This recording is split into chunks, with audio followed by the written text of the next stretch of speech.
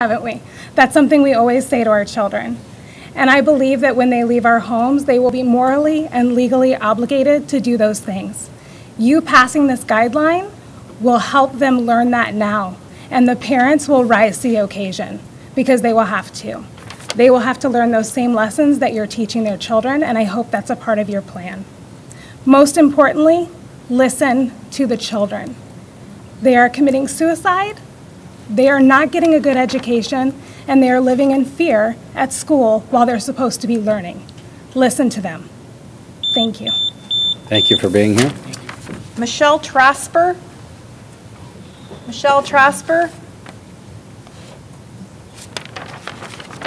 Pastor Leonard Jackson?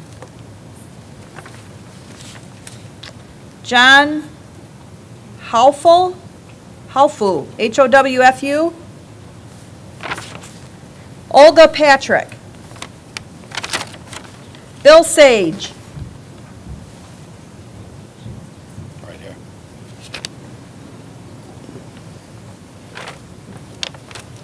Good afternoon, Board. It's a pleasure to be here with you. I wish it was under different circumstances. Give you a little of my history. I'm the founder of Constituting Michigan. If you're familiar with the- the uh, Pledge of Allegiance bill, I wrote it. That got passed. And like I'm a ex-commissioner. I'm on two boards. Community Mental Health is one of them.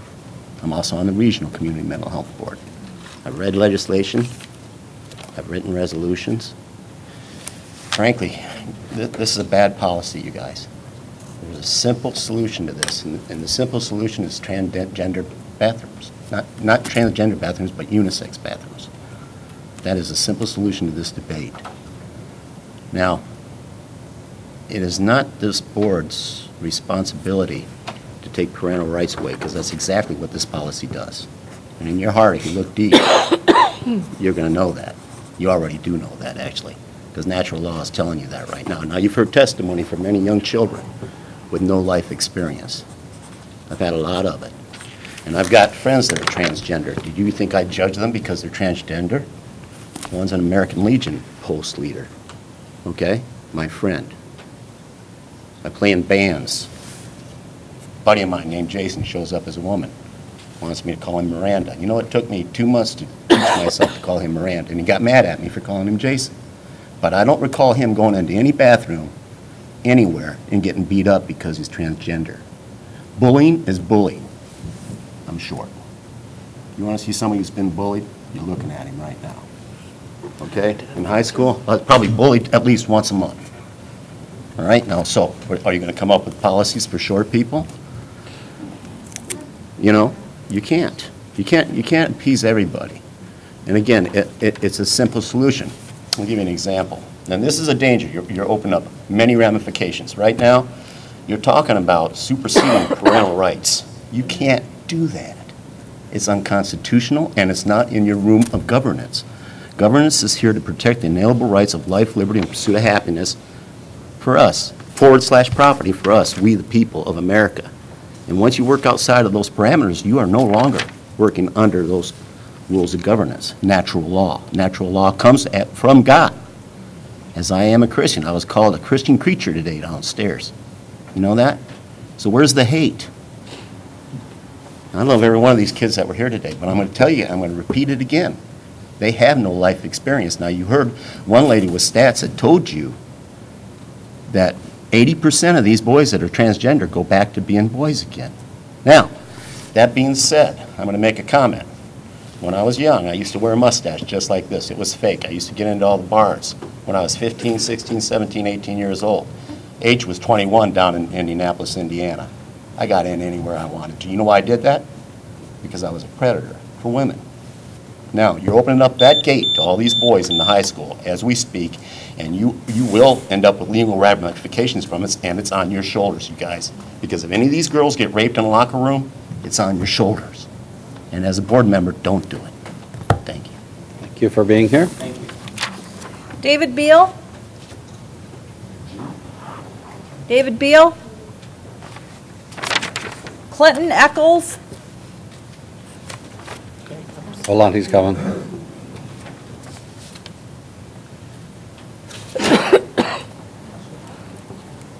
So I'm sorry, you- what's your name? Clinton Eccles. Thank you. Hi, I come to you today as a Christian uh, father and heterosexual male uh, that happens to uh, uh, be very saddened by the stories that I've heard about abuse and bullying uh, toward LGBTQ students and adults as well, and I'm very sorry for that. I also support LGBTQ students in the sense that they are dearly loved by God and they ought to be respected as individuals and as citizens in our community. I also happen, though, to strongly disagree with your proposal. Um, And I think there's a way that you can come up with a proposal that constrains bullying, accommodates all people, all walks of life, so that they can coexist, but without coercion. Right now, what you have is not right and wrong being debated, but rivalries asserting themselves. And when there are rivalries asserting themselves, there's always loss. And I would really appreciate it if you would come up with a policy uh, that does not allow a person to assert a right that disrespects another individual. I know that's difficult, um, but uh, I think it can be done. Um, I'm also concerned about a leap into completely subjective relativism that empowers students to reject truth and command others to conform to their perceived unrealities. If a person perceives he is Superman, would you urge him to fly off the roof of a tall building? Certainly not. Is 2 plus 2 going to still equal 4 in our schools? Second of all, what state law exists that permits this board to usurp a parent's lead teaching and guidance of his children? Thirdly, your proposal places local school boards, and by the way, the word option or optional has been used many times. Uh, optional does not necessarily mean it is not coercive and influential. Your proposal places local school board superintendents and principals and teachers into the crossfire of the culture war. Who now decides how far these shoulds that you have written should be followed? And when a local superintendent, a man that I dearly love in my local school system, and a school board is sued for following or ignoring your guidelines, where will you be? Your reckless document abandons the very people that you should represent. I disagree with the definition of gender identity as being a construct of an individual's internal compass and deeply uh, psychological knowledge of his personal gender, regardless of sex assigned at birth. I happen to believe that man is made wonderfully by God by his creator. I hope that I won't be called a hater because I disagree with others who believe otherwise. You've opened the door for mass exodus of students from the public school system and mass lawsuits by playing God, scientist, psychologist, policeman, moralist, and relativist. Where is your research that applies to the fears and dangers felt by individuals that see a person that does not look like their biological sex walk into uh, a bathroom? You quote research from the other side. Where is your research from even 10 heterosexual cisgender individuals? I would pray to you that the idea of empowering a student should not usurp what authorities have already been established or put in place with uh, parents. Um, you quote two pieces of research on, on a premise of unsafe learning environments, uh, but where is your research about what the learning, that new environment you are creating, will do to other heterosexual students? I'll just simply end with this. How can any Christian, Jewish, moral, Muslim, or other religious person who holds the belief that God assigns a person gender in the womb and believes that God desires that person to express their sexuality accordingly, how can that person be seen under the language of your proposal as not a discriminator or as a hater? How, how are they going to be respected as a person who simply holds a deeply held religious conviction? A safe solution exists in the unisex bathrooms option. What could be more safe that when something offers complete uh, privacy? Why the endangerment in the name of safety? And why ignore parental rights? I'm against the bill. My wife and I will have to make our own decision about what we will do with our daughter in the coming years because she's in our, in our public school system. Thank you for being here. Thank you. Adam Ray. Adam Ray. Jerry Stike. Susan Butler. Kyla Boyse, B-O-Y-S-E. She's coming.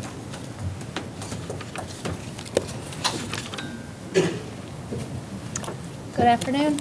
Afternoon. Um, I'm here as a pediatric nurse practitioner, a parent of public school kids, and a member of the community.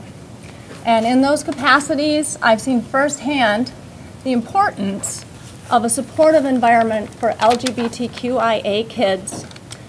I've seen how the robust accommodations and support that are offered at the University of Michigan can support learning and safety and that adjustment to college life. And I urge you to bring that enlightened approach to Michigan public schools by adopting these, these um, evidence-based, good sense, and voluntary guidelines. And I thank you for your work on this topic, and thank you for hearing from me. Extra credit. Thank you for being here. Kathleen Biker. Michelle Dooling. Jane Kangas.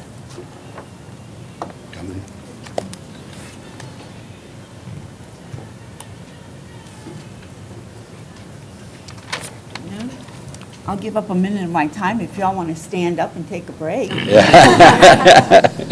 Thank you. Um, I'm speaking as a Christian grandmother of five students that are in Michigan schools, and I wish to express my opposition to your policy of the mixed-gender bathrooms and shower facilities in our taxpayer-supported schools. This is a slap in the face to all of our Christian values as expressed in God's Word. Where is the protection of our family values and the logical, moral modesty for our children? I don't believe in bullying of any student for anything should be allowed. We've always had girls' bathrooms for biologically built girls and boys' bathrooms for biologically built boys based on our Christian values. And now our culture has created a third group of the mixed gender, and they need their own facilities that should be separate from the boys and the girls so that there will be no bullying in the bathrooms or sexual assaults of any kind. We could also have separate facility, uh, a unisex facility for one person at a time would also solve that problem. I don't see how po- your policy in this area will improve the whole atmosphere of the students learning the basic three Rs that your primary mandate to do, so that more students can graduate prepared to make a living and to contribute to our country. Thank you. Thank you for being here. Glenn Kangas.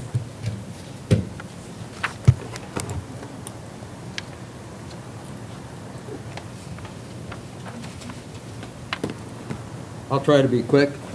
Uh, I think basically I agree with the fella five people ago, the short guy, got beat up. I think we should all have compassion, you know, how you teach compassion and how you legislate that, you know, we should all have love and compassion for everybody, every student.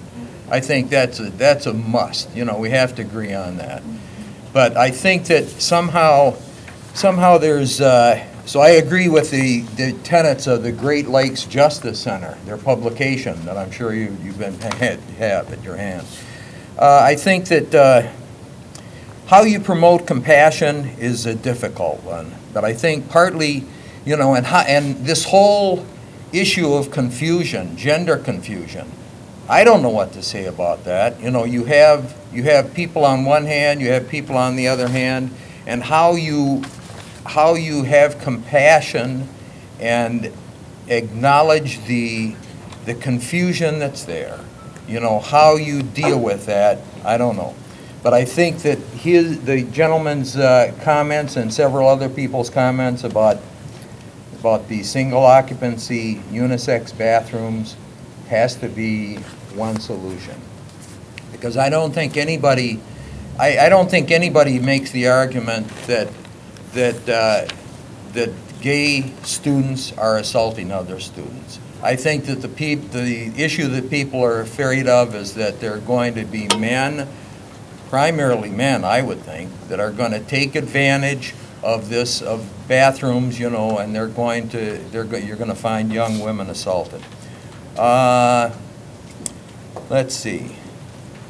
So I think that, I think, again, I'm, I'm totally against your proposal. I think that it's, it's peerless at a lot of different levels, you know, and it should be, there are a lot of areas that have to be examined that can't uh, be dealt with. Now, to end, I think, I, I come from, I'm a machine tool designer, or I'm a retired machine tool designer.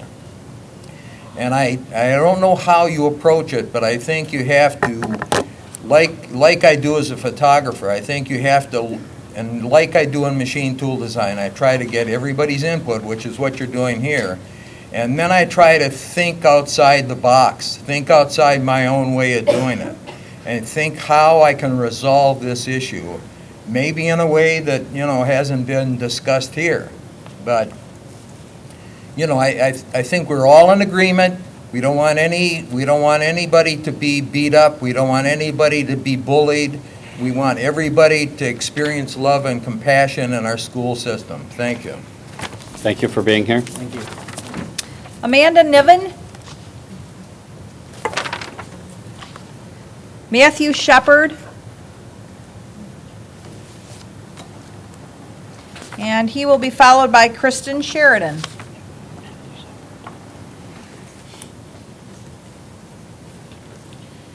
Hello, and thank you. I'm Matthew Shepard. I'm a member of the U.S. Taxpayer Party here in Michigan and secretary at that. Just this past week, we passed a resolution, and it goes as follows. A resolution in opposition to SBE LGBTQ student proposal adopted April 30th, 2016.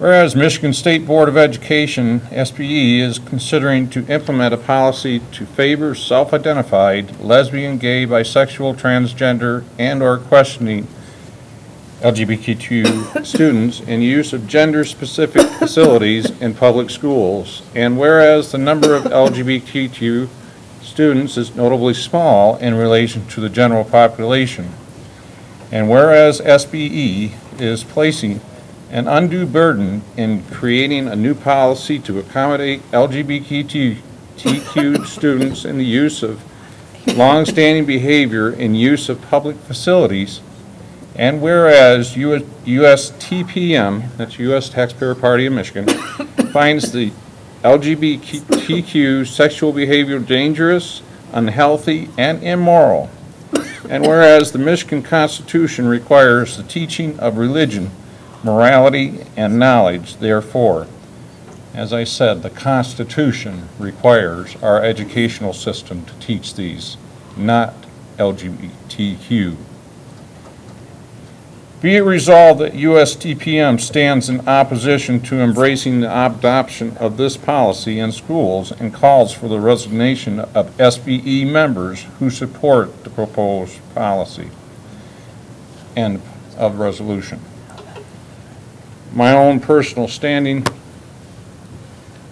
I'm over 20, 20 years of decorated service. Yes, we had LGBTQ members in our military, but we did not specify use of special accommodations just so they could have their uh,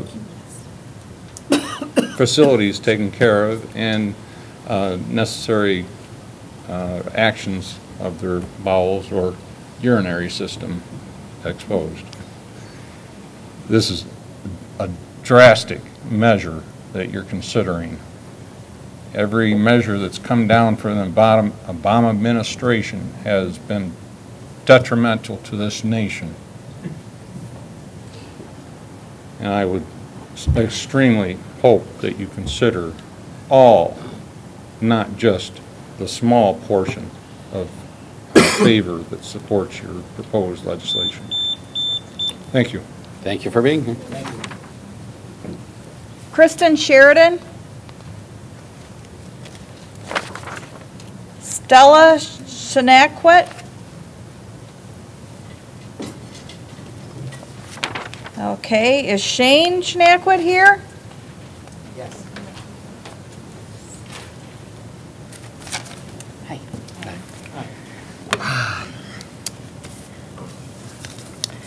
Sit in front of you as a parent. I identify as female. I present as female. But when you get down to it, nobody can see under my clothes. You don't know what bathroom I should use. Nobody knows what bathroom I should use. Because it's only my business. It's not anybody else's business. When my child came to me and told me that he's transgender, I thought a lot of things. I didn't understand. I was hurt. I took it as a personal affront. I wondered where I'd gone wrong. And I did seek psychiatric services for my child. And guess what? The therapist told me your child is not confused, is not seeking attention, is not going through a phase, is not mentally ill, and did not choose to be this way.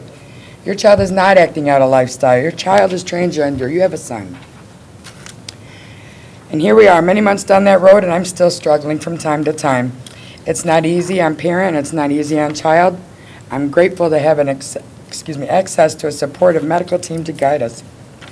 We live in a supportive school district. Our superintendent has been wonderful and understanding, and he works with us to ensure that the school is an inclusive environment. He came with us here today in support, but he's learning too. Shane is not the only LGBT student in our school and not the only transgender student. Our school lost a member of the LGBT student community to suicide in February. I didn't know this student, I didn't know this student's family. I don't know his reasons, but I know that when he graduated in 2014, our school was not as supportive as it is now. Our community grieves this loss, and I can't fathom the weight of the loss that his mother carries. I refuse to consider the possibility that I can ever understand what his mother has to deal with. I don't care what anybody says, I am not going to identify my child in the morgue. And if you can't understand that and you're worried about who has what in their pants, you need to seek some help yourself. I'm going to address some concerns that I've heard. People that are convinced that boys will act like a girl to go into the girls' room, please raise your sons to know that's inappropriate behavior and they shouldn't do that. Those of you determined to keep these unknown sexual predators out of the girls' room where your daughters are, I want to know why it's okay to leave them in the boys' room with your sons. At least acknowledge that there are female predators, that there are same-sex predators, that there are heterosexual predators, and that there are cisgender predators. And stop hiding your fear of men behind an imaginary fear of the transgender student. You're so worried about keeping men out of the girls' room, you fail to realize you're putting them back into the girls' room. Boys like Shane, who for the most part is accepted as he presents. If he returns to the girls' room, they're not going to be happy to see him there. And how will you ensure these kids are in the right bathrooms? Are we going to employ a panty checker at each bathroom door? Because that includes everybody's kids. It doesn't include the kid that you think is obviously transgender only. Your little girls that you're so worried about, they're going to have their panties checked too. Make no mistake. That's obviously not as good a plan as the one that the state board has considered today. Let people pee where they're comfortable. Private bathrooms are not the answer. Excuse me, private bathrooms are, should be available for those who want them, but they should not be the only option. My gender is not neutral, your gender is not neutral, not too many people are.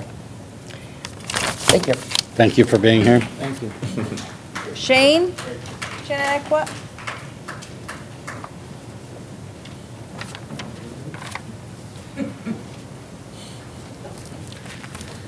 Good afternoon.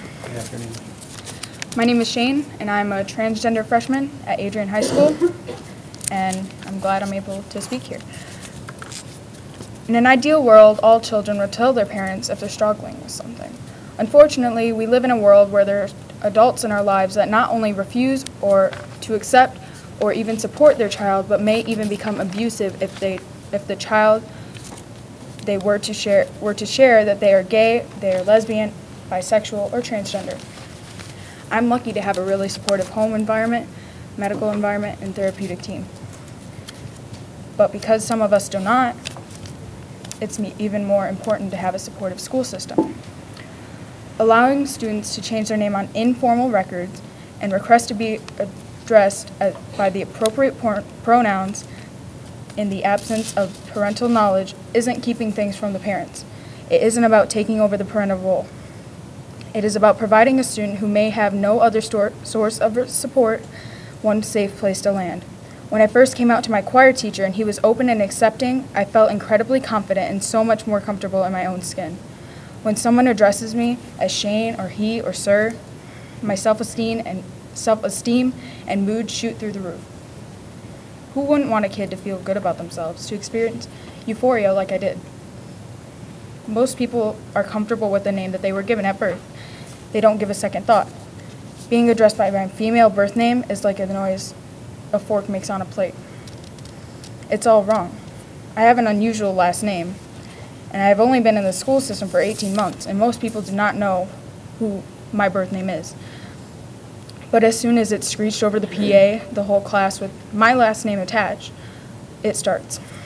People find a new wound to pick at, something to hang over my head and constantly remind me of, whenever they please.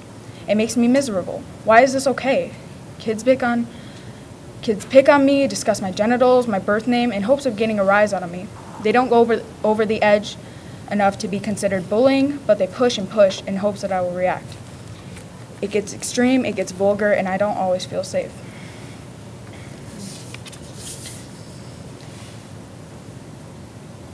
Trust me when I tell you that I want in and out as quickly as possible. I have five minutes between classes and no interest in spending as much time in the bathroom. It shouldn't be a big deal. Boys use the boys' room and girls use the girls' room. I use the boys' room. We're here to learn, not to harass and discriminate. This whole thing is a version of the colored and white drinking fountains in the 50s. Being born brown or born transgender isn't something that anyone can change. We'll be fine. In reality, most kids are much more open and accepting of differences than their parents. If your kids are uncomfortable, it's because you weren't taught to love each other despite differences. Teach your kids. In 30 years, we will look back at this time as much as we look at the 50s and wonder how we forced an entire segment of our citizenry to use different bathrooms over fear and ignorance. Let Michigan be on the right side of history. Thank you for being here. Thank you. Shauna Daniels? Coming. Yep, she's coming. And Kathy Garnott will follow Shauna.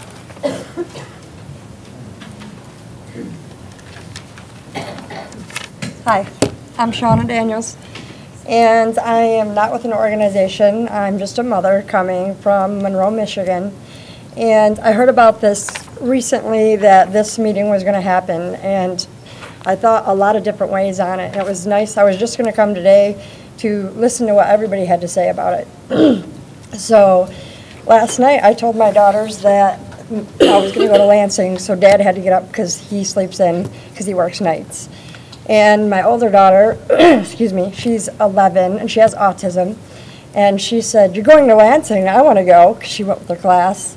And I said, Well, you got school, so you got to go there. And then her next question was, Well, why are you going? And I said, Well, I'm going because they're talking about making a new rule where the boys can come in the girls' bathroom, the girls in the boys' bathroom. And she said, Well, I don't like that idea. Um, and when she made that comment to me, it was when I'm not normally the type of person to get up and talk. When, but I thought about it and thought that she can't be her own voice, so I have to be her voice for her. And she was very uncomfortable with that decision. So I'm here for, for that because I don't think it's right to make a right for someone else that violates someone else's right. And her right, as my daughter, is to go into a bathroom where she feels comfortable also, just like everyone, where the fact is the unisex bathroom is a great idea. Then everybody has their own and they can go wherever they want to.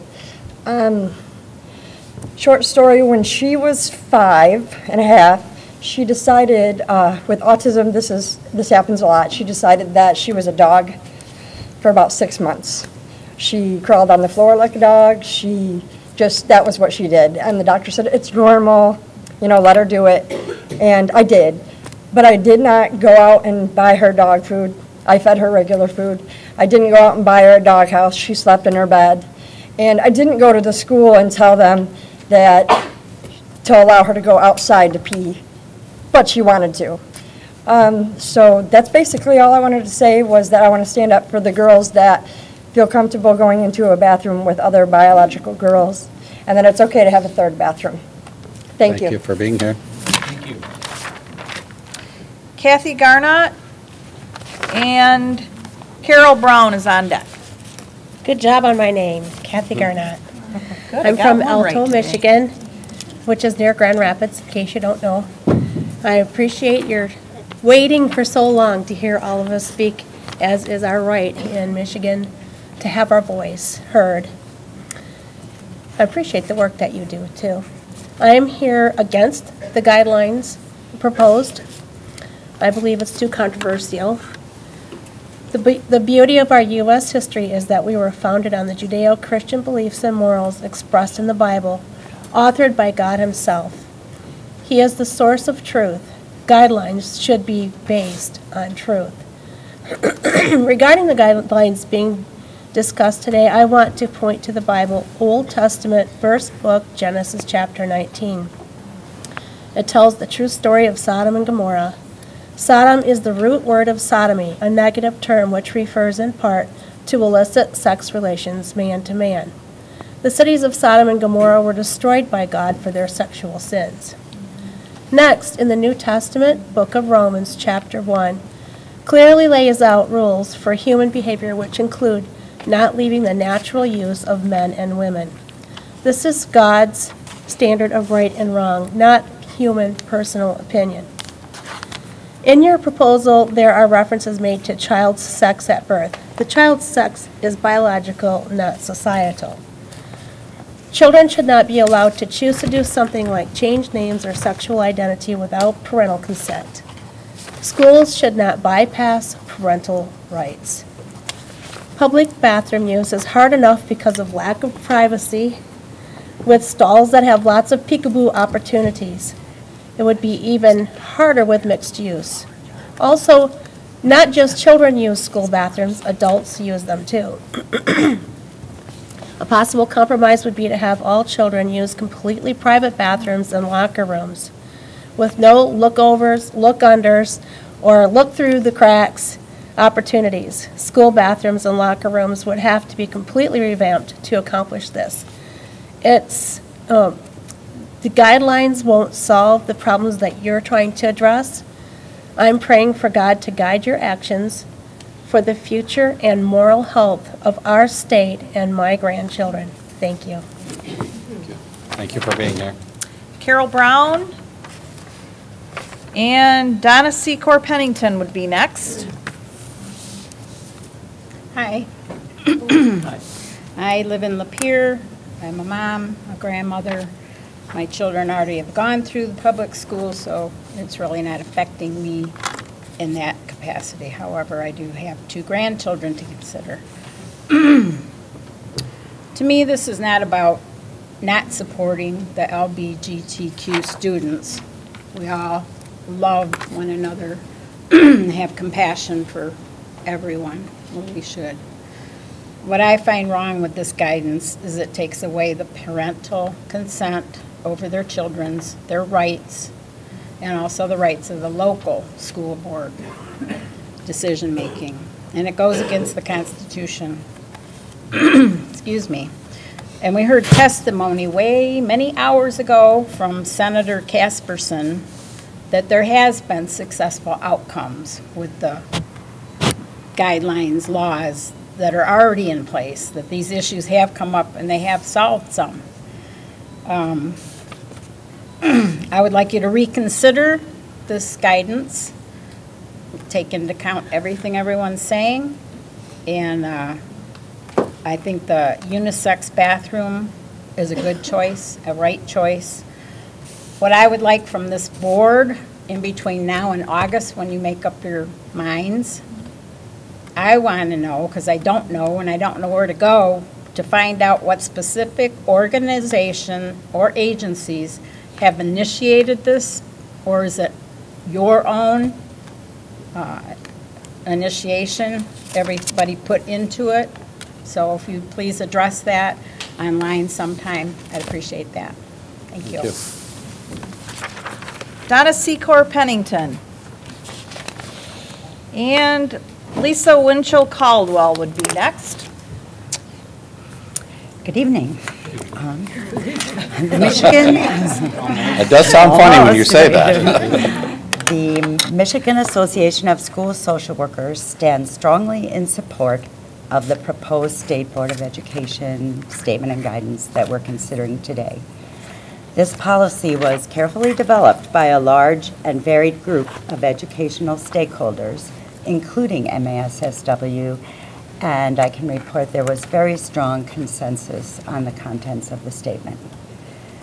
We all know that sustainable and effective change requires readiness, and the advisory nature of the statement affords school districts the flexibility to shape policies that meet their own needs based on their own timelines. The importance of these guidelines for school districts is underscored by the reality that in a typical class of 30 students, eight students are directly impacted by the gender nonconforming or nonconforming sexual orientation of self, of one or more siblings, or one or both parents. So certainly an issue that needs to be recognized. Research suggests that teachers overwhelmingly believe they have a responsibility to protect and provide a safe learning environment for LGBTQ students. Yet less than half of them believe they're prepared to answer questions or deal effectively with an LGBTQ, LGBTQ student who is being bullied or harassed. Only 4% of principals report that their teachers have, been, have had any professional development regarding addressing LGBTQ students. So, um, and I'm reminded of a story that happened recently in Grand Rapids where a group of third graders on the playground and a student calls another student a lesbian, um, giving you an issue of bullying and harassment. But also, when they went back into the classroom, a child raises her hand and says, Well, Mrs. Jones, what's a lesbian? That teacher needs to be prepared to answer that question, to know what the parameters of her school district's policies are and what a developmentally appropriate response would be, and yet at the present time, that's not the case. Um, MASSW also supports the recognition of the need for family engagement and involvement um, with um, with these students, um, and we appreciate that you recognize the role of school mental health providers, including counselors, school social workers, and school psychologists. Their ethical standards and professional expertise and skills qualify them to address the various needs of LGBTQ students and assist in this very important piece of engaging families and their accessibility makes them very valuable to students who might not have the resources to go elsewhere. My time is up already. So, Thank you very much. Yes, but, well, thank you very much. So, Lisa Winchell Caldwell. And Karen Polka's next. Thank you all. It's been a long day. It's like number 16 here. I, I'm with you. Um, I'm speaking on behalf of the Michigan Coalition to End Domestic and Sexual Violence as their associate director. Um, I have 16 years of working with victims, survivors, and engaging in the prevention of sexual violence. I think it's important to identify that several people have identified from both sides of the issue statistics from the Centers for Disease Control.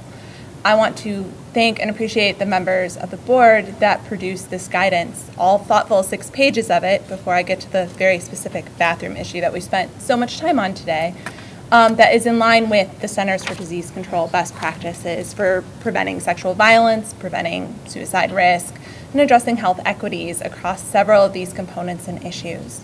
Um, we've spent a decade studying sexual violence prevention, including understanding the risk to individuals who are transgender. Most national studies put that at about 60% or higher are at risk or have experienced sexual violence.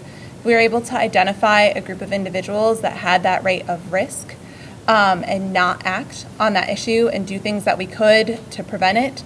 in any other group, no matter how small, that would be a travesty. Um, so any group coming forward identifying concerns about sexual violence as their primary motivation to not stand in support of this legislation are not using the evidence base around what actually effectively prevents that risk. 15 different states have enacted similar legislation and not in the guidance format that you have used, and none of them have produced any data that shows that it increased risk to non LGBTQ identified individuals. Not from their state coalitions, not from law enforcement that were available to discuss it. There's no statistical evidence that this change would increase risk. It would simply reduce risk for individuals who need to access the restroom.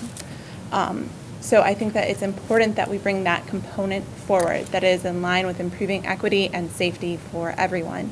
Um, there are survivors and victims that may feel uncomfortable. That is unfortunate. I have been in a tenuous place where I have to speak for both groups survivors who want something and survivors who do not before.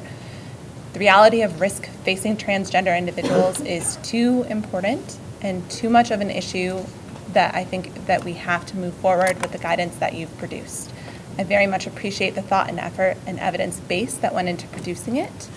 And thank you for making time for everyone to comment on it. Thank you for being here. Thank you. Karen Polka. And Kelly Rabideau will be next. Good evening. Thank you for your time. Girls' self-esteem peaks at age nine, and then it goes down from there. That's research-based. I'm the founder and executive director of A Beautiful Me. We are a nonprofit charity. We provide proactive self-esteem workshops after school for girls in third through 12th grade with a pinpoint of fifth grade. Since 2008, we have showed positive outcome-based data on the growth of our girls in over 6,000 of them in Michigan. We provide a safe learning environment. And over the course of a four two-hour workshops, our girls flourish. At one of the many schools that I work at, the girls are not feeling safe. They are looking for a safe place to go to the bathroom, but it's more than just the bathroom. A safe place to change in the locker room, a safe place to play sporting events that they're playing with, um, mixed company, and to also go on to an overnight camp. Society in Title IX has recognized the innate differences between men and women and has respected these differences by providing separate facilities for showering, changing, and using the restroom. This protects people's rights to privacy and particularly the right for children in a school setting to not be exposed to the private anatomy of the opposite sex. I believe in empowering our youth, specifically females. I believe in a safe learning environment for all. I believe God did not make a mistake.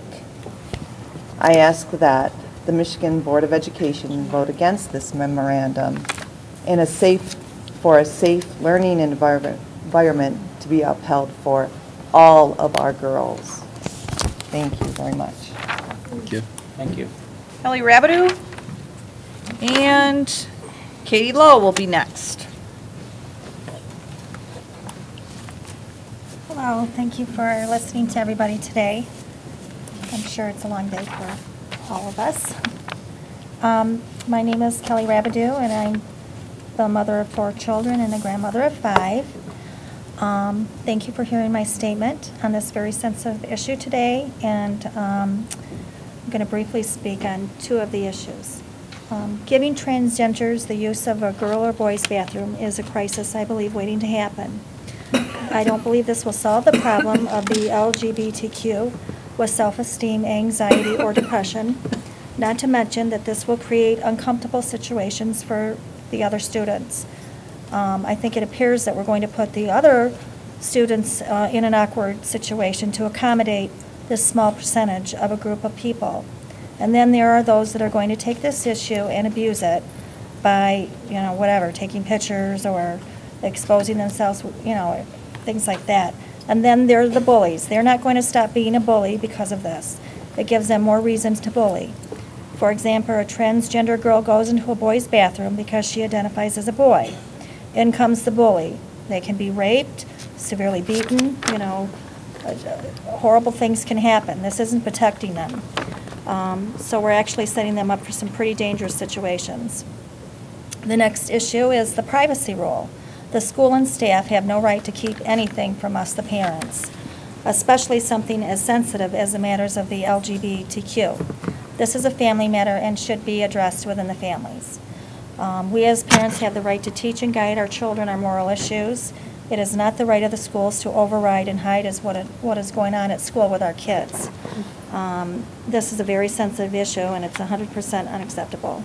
And um, one of the things I was, was just thinking about, it's not on my paper, is that I don't know who wrote this memo, but I'm wondering if they're a parent, because as a parent, if my child was struggling in this way, I would want to know, a hundred percent. And so I think that um, keeping that from us is very, very wrong. So that's just a couple of things. So, thank you. Thank you for being here. Thank you. Katie Lowe and Thomas Nelson will follow Katie. Hi, thanks for listening today. Um, I'm here today to speak for my children's future and their education, which I feel seems to be a major lack of focus on the state's list of important topics and laws being discussed in this platform today. It's a difficult conversation to know where to begin, and I have only a short few minutes, so I'm going to jump right in. A lot of the focus seems to be on the child's sexuality and not the education anymore. My children are five and eight years old.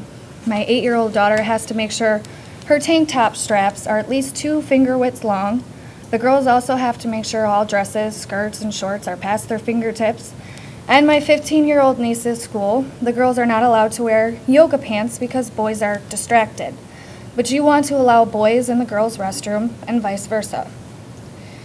Uh, sorry, lost my spot.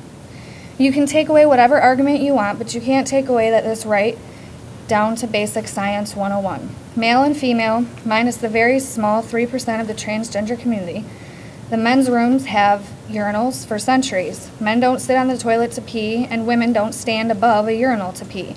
So this small, this small 3% calls for the state to pass laws and fund new bathrooms for schools and all the communities.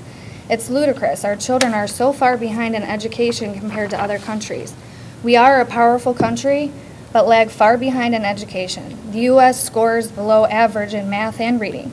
The American workforce has some of the weakest math- math- mathematical and problem solving skills in the developed world. We scored far below average and better than only two of 12 other developed countries. And these other countries are not just superior to ours, but continuing to better their school systems and their percentages while we have steadily declined and comfortably rested right where we are because the education system is failing our children.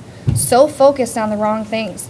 You want to allow, say, a 10 year old boy named Jeffrey call himself Amanda and think, as their parents, I don't have a right to know that every single person in the school system is addressing him this way, right down to his school records, but he can't even go to school without shots unless I take a class and forfeit it.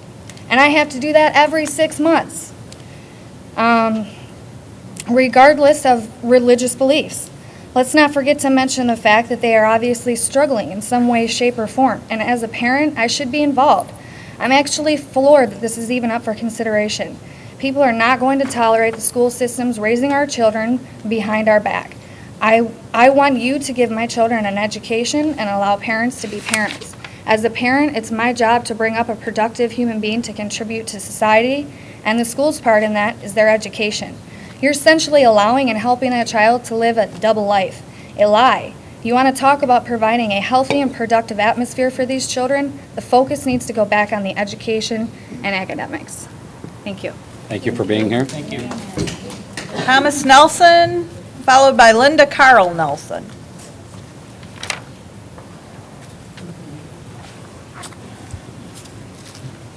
Thank you. You guys are amazing. What stamina, holy cats. Thank you for allowing me to speak to you today. I think this is democracy at its best. First, know that I am the father of six children, five girls and one son, 12 grandchildren, and three great-grandchildren. Know also that my one son is gay, who attempted to take his life. as a young teenager. No, that narrowly averted tragedy occurred mostly because he heard his father stupidly pontificate unwittingly the Catholic Church's denigrating doctrine on homosexuality. That incident where I very nearly lost my most beloved son started me on a journey. A journey in which my statement here today is just one waypoint. It is a journey of working in ministry to the LGBT community for more than 35 years. In those 35 years, I've met hundreds of LGBT people listened to hundreds of their stories, and talked with numberless parents. I've learned far more than I ever intended, and I cried far more than I want to remember. I have encountered every aspect of LGBT family trials and tragedies. It has been an experience beyond anything one could imagine. I have learned, and I'm still learning. Based on that background, I wish to comment on just two aspects of the guidelines, and I think the guidelines are great. These guidelines seem to be generating some controversy. Number one is the concern I've heard expressed over the potential thwarting of authority of parents. Some parents are concerned that they must be in the loop, no exceptions. I can understand that sentiment. Unfortunately, it is not a blanket truism that would fit all cases. I have witnessed more than a few family tragedies where coming out to parents resulted in disaster. Keeping parents in the loop is not that simple. It's a concept that ignores real life. 40% of homeless youths, 40% are LGBT. How do they get that way? My experience is that they are homeless because the parents could not handle the reality of their God, their child's God-given nature. Sorry, I'm over time. Coming out is the most personal decision. Each case of deciding whether or when to involve parents should be considered individually because it is absolutely imperative that any decision must ultimately be decided by the individual person involved. No teacher, counselor, or other school official should be compelled to out a young person to his parents. That's it. The second last issue, and I'm just this very brief, is this issue of the furor over bathroom usage. Parental concern about a child's safety does not fit with reality. Transgendered people have been using the bathroom of their choice virtually forever. I challenge anyone to relate when or where such, such practice has resulted in the abuse of a child. It is a non issue that seems to be mostly the fodder of political pandering. Concerned parents need to be educated that bathroom usage is not an issue born of real life experience. Thank you for listening. Thank you for being here. Linda Carl Nelson.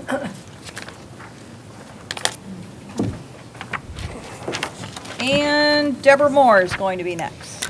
Good afternoon, and thank you all for your patience and attention during this long day. My name is Linda Carly Nelson. I'm a Catholic mother of three adult children. My, my youngest son is a gay man, my daughter is married to a transgender man, and my other son is a deacon, in, a married deacon in the Catholic Church. So we are a very diverse family. I speak today as a member of a faith which has been anything but supportive of the LGBT community. My husband and I have been involved for decades as leaders in PFLAG groups and in Catholic organizations that work for the equality of gay and lesbian, bisexual, and transgender people in the church and in the wider world. As I read many of the negative comments on the guidelines, I was struck by the frequent reliance on religion as an argument against allowing transgender students to use the bathroom of their gender identity.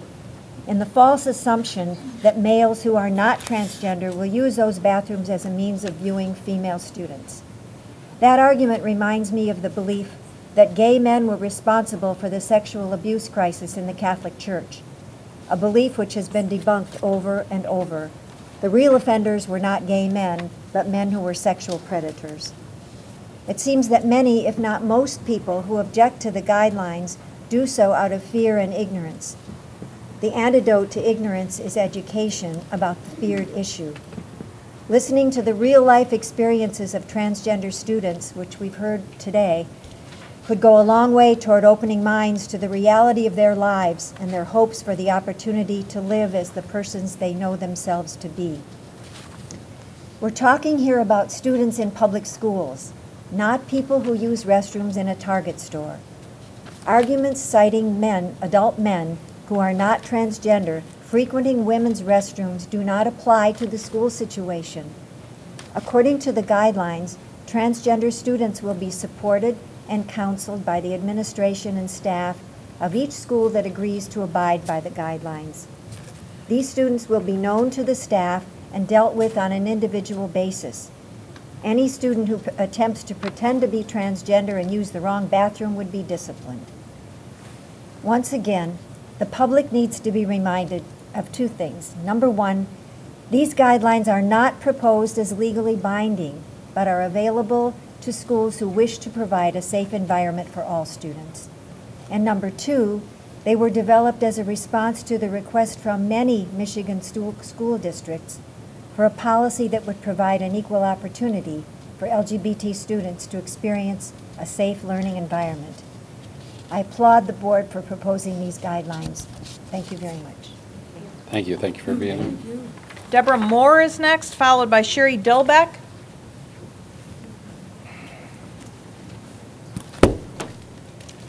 Hello, everyone. Hello. I'm here today as a single mom with some very deep concerns as a mother and a grandmother concerning these. Um, First of all, I would like to know how it was, it decided for who participated in the development of these guidelines. I see where there were parents of transgender children who participated in this discussion. Why weren't parents of those whose children have been sexually abused allowed to participate, to offer their legitimate concerns in this regard? Why weren't parents of straight children allowed to participate in this discussion? It seems to me this was a one-sided discussion, which is why I am here today. How is it that the rights of boys who identify as girls trump the rights of girls who are born girls? How is it that those of us who disagree are being called haters and intolerant when ironically it's those who are trying to force this issue into, onto others who are the ones being the most intolerant, hateful, and bullying those of us who don't agree into compliance? If these guidelines are voluntary, then why have them at all? Why are they even being introduced in the first place if schools aren't required to follow suit? Could it be that it's a step closer to slowly making them into law and another step closer to eliminating parental rights when it comes to ensuring our children are in a safe environment while at school? The number of transgender students is a very small percentage when compared to those who are straight. How is it that this board is willing to sabotage my child's safety and protection? How is it that this board feels it's okay to invade my child's right to privacy? Before any assumptions be made about me or any false accusations of who I am and why I am here today, I am going to get brutally honest with you. There has been pedophilia on both sides of my family. Four of my five children were molested by their biological father. I fought for eight years to keep my children safe from their abuser. Mr. Austin, do you know who Uh, uh, Kath- please, Kathleen please, that's inappropriate. is? Excuse me, that's inappropriate, Okay, I'm sorry, forgive me. please. I am nearly 51 years old. I just recently learned a couple months ago from my brother that my sister was also sexually molested by another child who tied her up and fondled her in a locked bedroom of our babysitter's house over 45 years ago with me in the next room and never knew it. I have several family members who are gay, lesbian, transgender, and bisexual. Do I hate them? No, absolutely not. I love my family.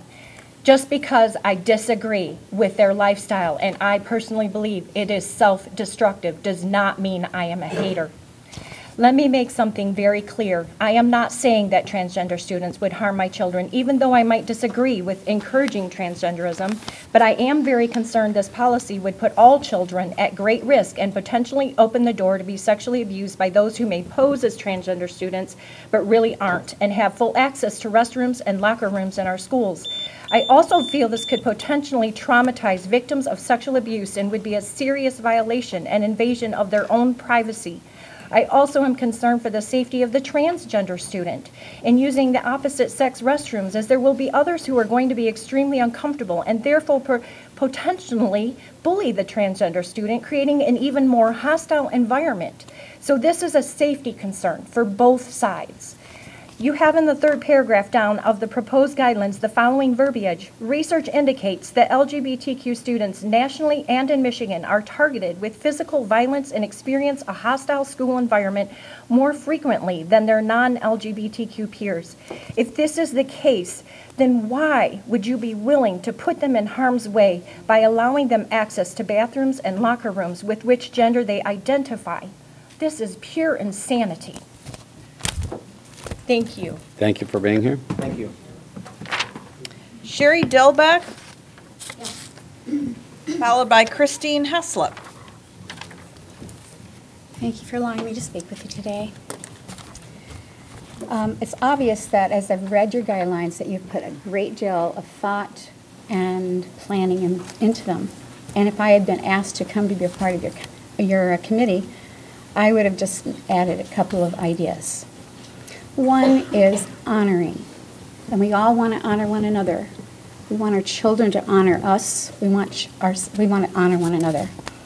This is one of the fundamental principles that I live by because my parents taught me to honor my father and mother and to obey them. It seems as these guidelines, as I read them, are trying to undermine and demean the traditional uh, uh, foundation of family and parental rights and authority, shifting society to governmental and school control of our children without our consent. Consent of parents is very important. Instead of parents, the school be setting the standards of morality and modesty, conduct, safety, privacy, and acceptable risk.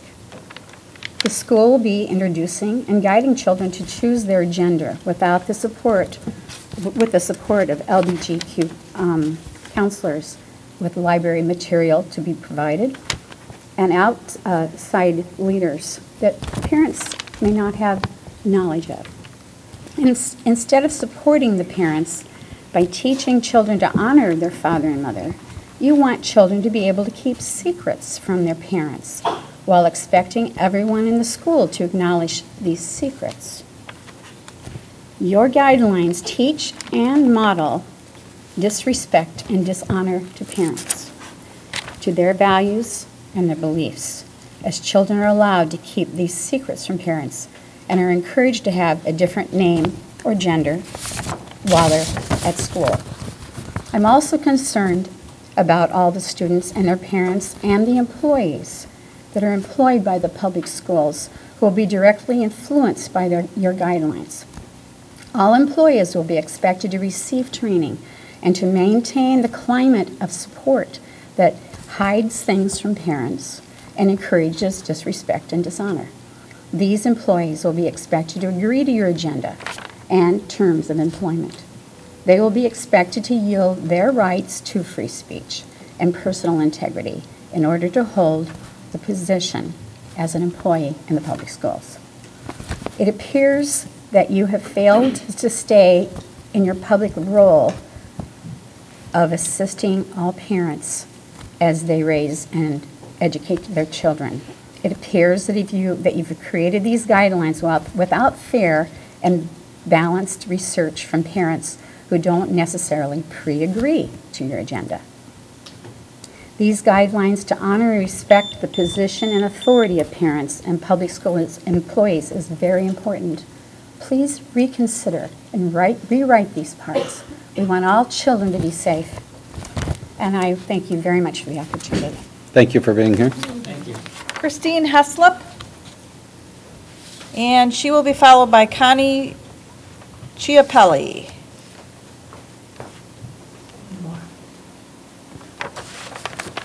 Hi. Been a long day. I want to thank you for allowing us the privilege to come here uh, to speak um, our voice and our concerns. Um, My name is Christine Heslop. I am married with five grown kids, and I have 17 grandkids and three great-grandkids. I have previously worked for a year with teens in the Waterford Public School System uh, that were going through a lot, and um, I also worked in a daycare as a latchkey coordinator and 10 years with children. My heart is for the hurting, the ones who feel different or left out, and the reason that all started with me is because I know what that's like. When I was 13, I was removed out of school, and I was out of school for a whole year. And I know what that stigma feels like when you have to face your peers at school. I may not identify with the LGBT community on their particular issue, but I know what that stigma feels like. It's a horrible thing to be bullied and treated a certain way. So I'm here to say that I do care about them. I care about how they feel. Um, I have a word picture to share with you, so bear with me regarding my feelings about this memorandum. Many years ago, my life began to spiral downhill. My husband lost his job more than once. We lost our house, our finance, and my health to unforeseen problems. As I worked through my many issues, I often felt overwhelmed and alone with what I was facing. Struggling to have the changes I desired, thinking this would resolve my needs and my wants. After getting what I thought was going to be the answer, a tidal wave of new problems arose. That is why I'm against the statement and guidance for safe learning environment for the LGBT student memo. For the same reason I just stated in my story above. See, it's like when a man goes to dig a well, he only sees the surface. He does not know what lies below. And there's a way that seems right to us often, like this memorandum, yet often the end produces a tsunami effect. The memo will shake the very foundation of our state and all the kids involved and our grandkids. And I'm speaking for all the kids.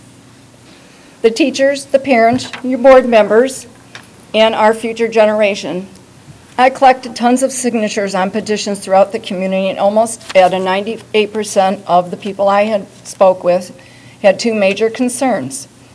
They were not the, the two major concerns, but absolutely the concern was not against the LGBT community.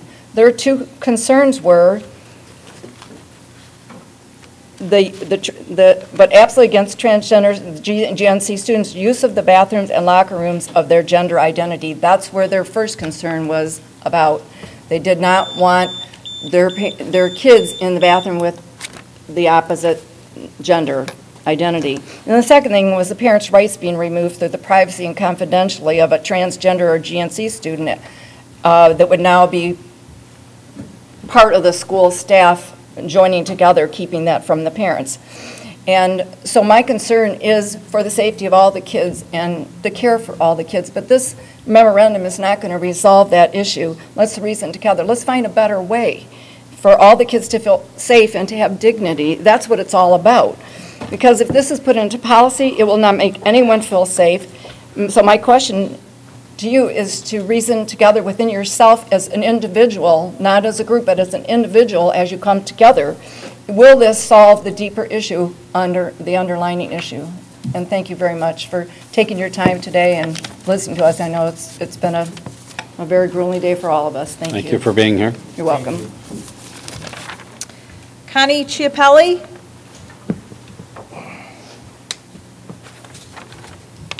And Hi, my name is Connie Capelli. Oh, good. And when I was born, they said it's a girl. And when there was a man born, my husband, they said it's a boy. I am a woman. I am a mom, a mother. I have children, grandchildren, sisters, brothers. I have a sister that practices homosexuality. I love her dearly. And I do not change my stance on this issue because of it, because I want something more for her.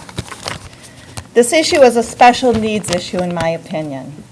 There are children that have special needs. The school and public have adopted different things to address their needs and help them function in society, such as a class or classroom, sometimes schools like for the blind or the deaf. We have, however, not disregarded the children that do not have special needs or learning disabilities. You see, the handicapped may always be handicapped. However, they are loved and have perimeters for functioning in a safe and healthy environment. The deaf, the autistic, the blind, the paraplegic. There are those that have broken bones that are not forced to participate in gym. The system isn't revamped to ele- elevate them and disregard the rights of others. You have no right to transform the system for a group creating a bullying effect in society. If you make everyone live according to these, those that are mentally handicapped, do you also lose what you have? Freedom. Your freedom.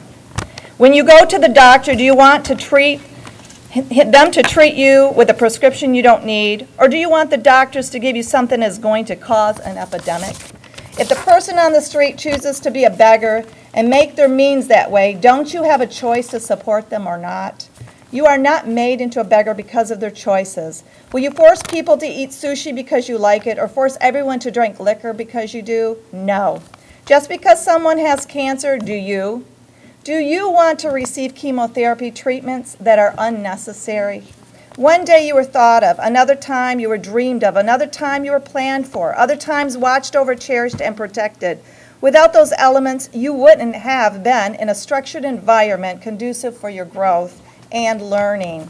We need to afford our children the same things a future to look forward to, a hope to hold on to, a dream that can be fulfilled by giving them options of right paths to take. If you hold your if you were to tell your parents when you were a baby or young child, don't change my diaper, I want to wear it forever, how much sense does it make for the parent to allow that? Absolutely none. There are teachers and there are students for a purpose. When a baby's born, the doctor introduces the infant as it's a boy if it's a baby boy, or it's a girl if it's a baby girl. The baby didn't make the decision, neither did the parent someone higher than the parent and the child made that decision. We have, the, we have to be honest with ourselves and others and stop living in denial. Denial isn't conducive to healthy thoughts, actions, nor outcomes of a better life.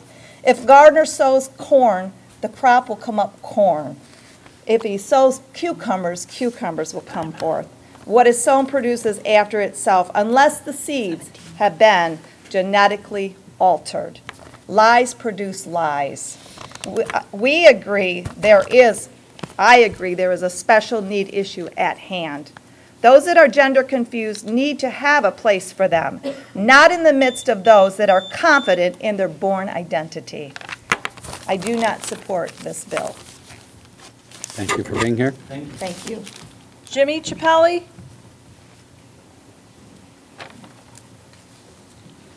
My name is Jim Chappelli. I don't know what else more that I can say other than what she said, but I would like to say that I am vehemently opposed to this proposal. It's not the proposal, that's a simple solution, you know, and it, the, the solution to that is that we have gender-specific bathrooms for these people. For- uh, That's simple. We- we- We've made it really complicated. I I guarantee you that that's going to be a lot cheaper than having all, the- losing funding for the schools from people who who say they're going to homeschool. Now, here's, here's my problem, okay?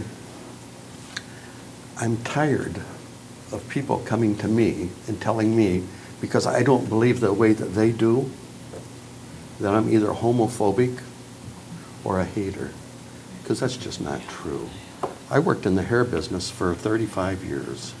Do you know how many gay and lesbians and transgenders that I worked with and worked on?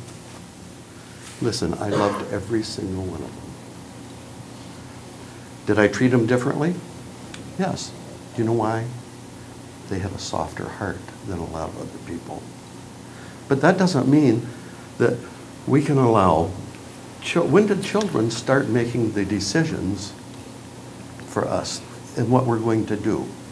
Listen, if that's the case, then what we need to do is we need to start saying, uh, okay, let's remove all the Senate, all the House of Representatives, let's remove all of them. We're going to bring in a bunch of eight-year-olds. They're going to run the country and make all the decisions from this point forward.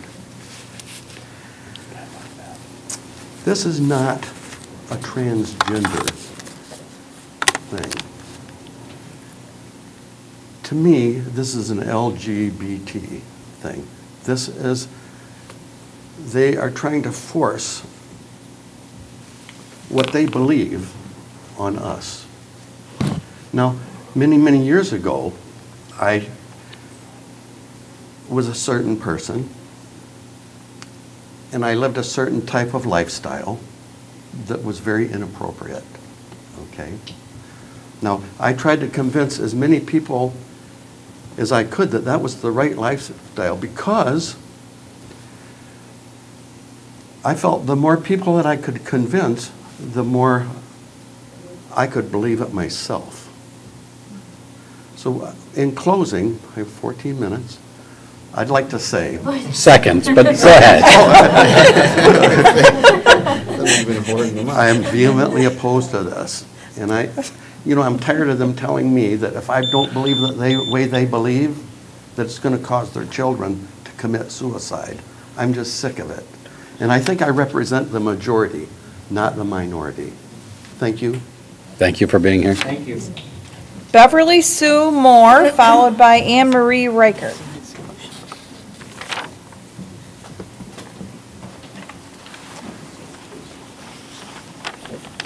Oh. Hello. My pastor, when he goes to speak, he always says, Look at me. So I'm asking you, look at me for a reason. I haven't got a speech prepared for you today. Matter of fact, I've been sitting there for five and a half hours because I've come today to talk to you from my heart as a mom and as a grandma. I've heard a lot of different things out there today. And the main thing I want to share with you today is it's not about love or compassion, it's about responsibility and accountability. And that has to do with you. I was thinking out there, one lady's talked about the boogeyman. And I thought, what about my little great granddaughter someday that's in first grade and she goes into the restroom? You see, she's not afraid because she's trusting you, the school board, to make decisions on her behalf. She's not even thinking about being afraid of anything. She's too young and innocent.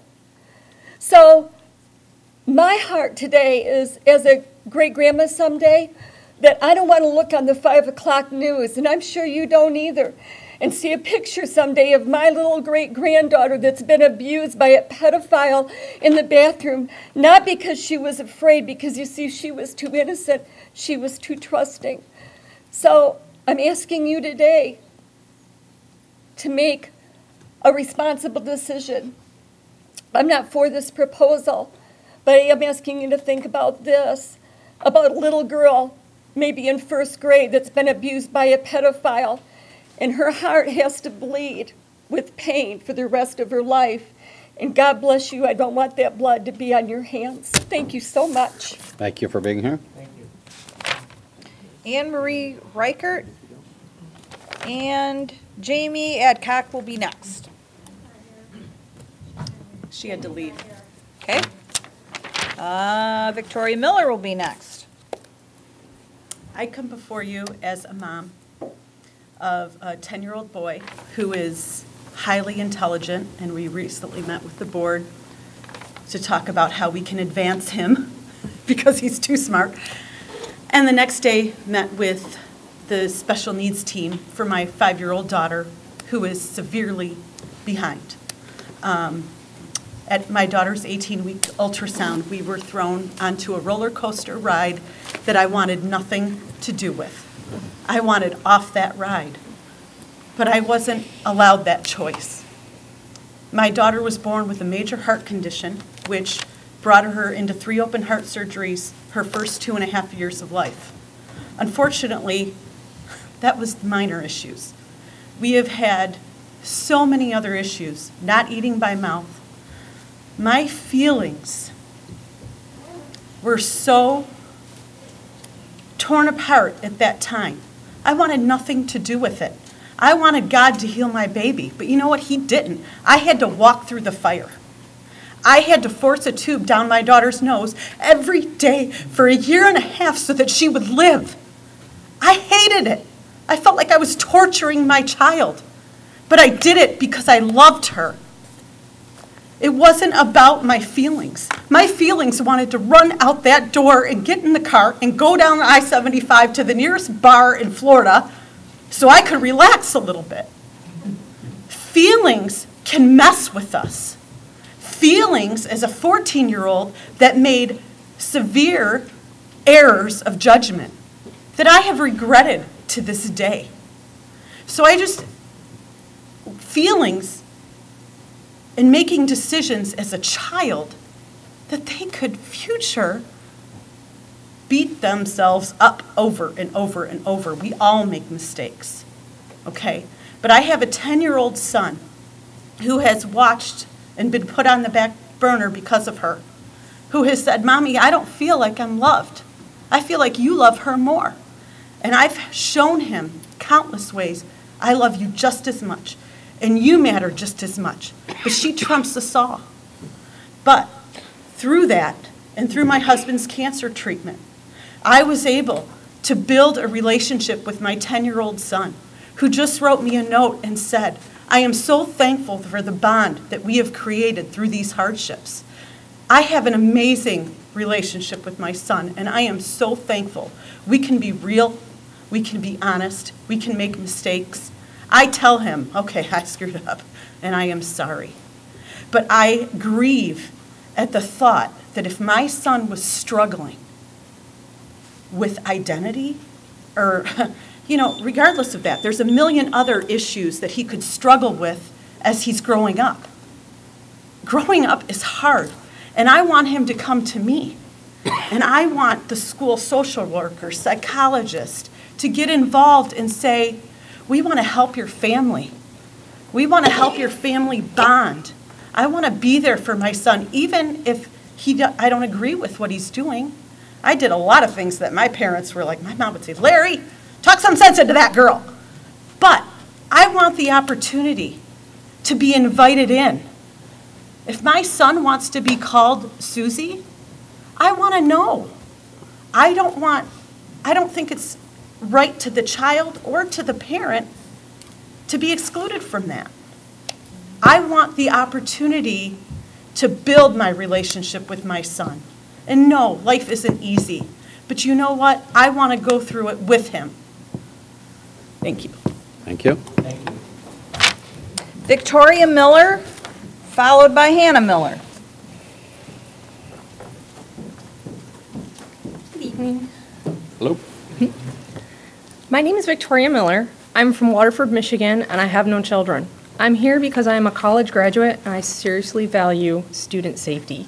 I feel the proposed LGBTQ guidelines for the bathrooms will hamper a school in its efforts to provide a safe learning environment and to prevent student bullying.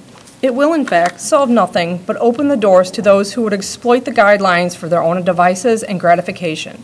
For example, under the current guidelines, a 16 year old boy, not a transgender, may declare himself to be a girl. He may enter a girl's bathroom or locker room at will. He may retain his cell phone. Young girls cannot request his removal. Those girls have now lost their right to privacy. They will be afraid to change in a locker room or to go to the bathroom, or even of going to school. Those girls will become victims of peer pressure and bullying. When they speak out and say how uncomfortable they are with the boys in the bathroom, the girls will be called intolerant, haters, and um, transophobes by other students. I can attest to this. I have had this at college. I mentioned I was uncomfortable having a transgender in the bathroom, and they're like, oh, well, you're just intolerant. I just mentioned that I was uncomfortable with it. It's like, I'm okay, but I'm uncomfortable. So I can, this is a true story. Um, These guidelines will create exactly what girls, or excuse me, what schools wish to prevent. This situation will cause confusion and fear in schools. This is extremely upsetting as people, transgenders included, just want to use the bathroom in peace. So a solution. Please don't take away the majority's right of privacy so that a minority may feel safer and more comfortable. Instead, let's find a solution that all students may feel comfortable and safe. Keep bathrooms distinct and separate. You can use the bathroom that corresponds to your legal birth certificate. This will be safer but uncomfortable for many, so unisex bathrooms should be provided and their use encouraged. I personally am uncomfortable using the same bathroom as a man and believe that it would be safer for the students of all genders if unisex bathrooms were used instead of co-ed. Thank you for hearing me today. Thank you for being here. Hannah Miller? And then Carly Allen. Hello, I'll be glazing over about now. You guys are amazing. I just would not be able to handle this. But I'm here today. I just want to thank you for letting me express my opinion and the First Amendment right. I am actually against this um, proposal that you have made on three or four things. The first one is, is that you contradict your first thing on page two, um, providing an appropriate and meaningful family engagement and support. You turn to page four, you said that the parents don't need to be involved. They don't need to know the children's name. They don't need to know what goes on at school. I think that is wrong because our parents need to be involved with our children because they are what they live with at home. They are the connection that we have to the outside world. Actually, what happens at school is probably not even as much that we will we gain our knowledge to go out into the working world through our parents and the responsibilities that those parents have. And speaking of responsibility, is it our responsibility and our rights as parents to make sure our children are safe?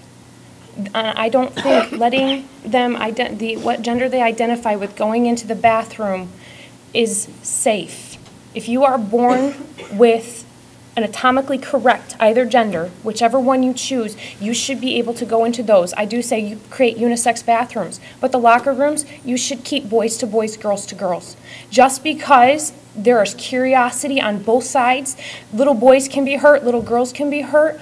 Let us separate that and make that where they aren't. Because I'm not talking, you know, transgender people, it's not about really them I'm worried about. What I'm worried about is the actual pedophiles that will use this to their advantage because they will say, You have given me permission. I feel right now I identify as a woman. I've raped that little boy or little girl. I've molested. I've done what I wanted to, but now I'm a guy. I can go back to what I want.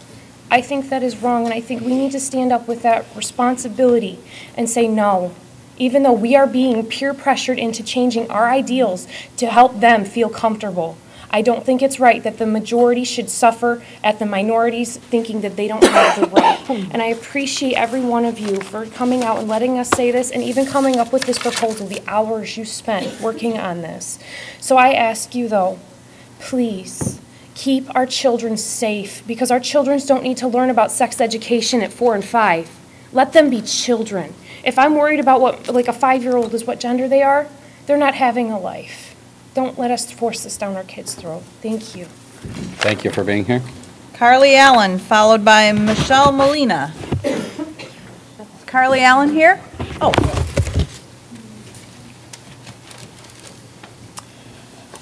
Thank you so much for listening to us and staying so late. I know this has got to be trying. um, I just want to state that um, a few statistics I found. 3.8% of Americans are LGBTQ community. 0.3% of Americans are transgender. 96.2% are non-LGBTQ completely. Um, the statistics of rape under the age of 12 is 22%, 54% under the age of 18.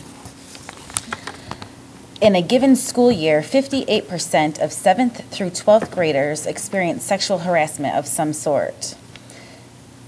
Six, 62,939 cases of child sexual abuse in 2012 alone. I couldn't find anything any closer to this date. This is not an issue of equality or anti LGBTQ. It's an issue of safety, and I'm against the guidelines.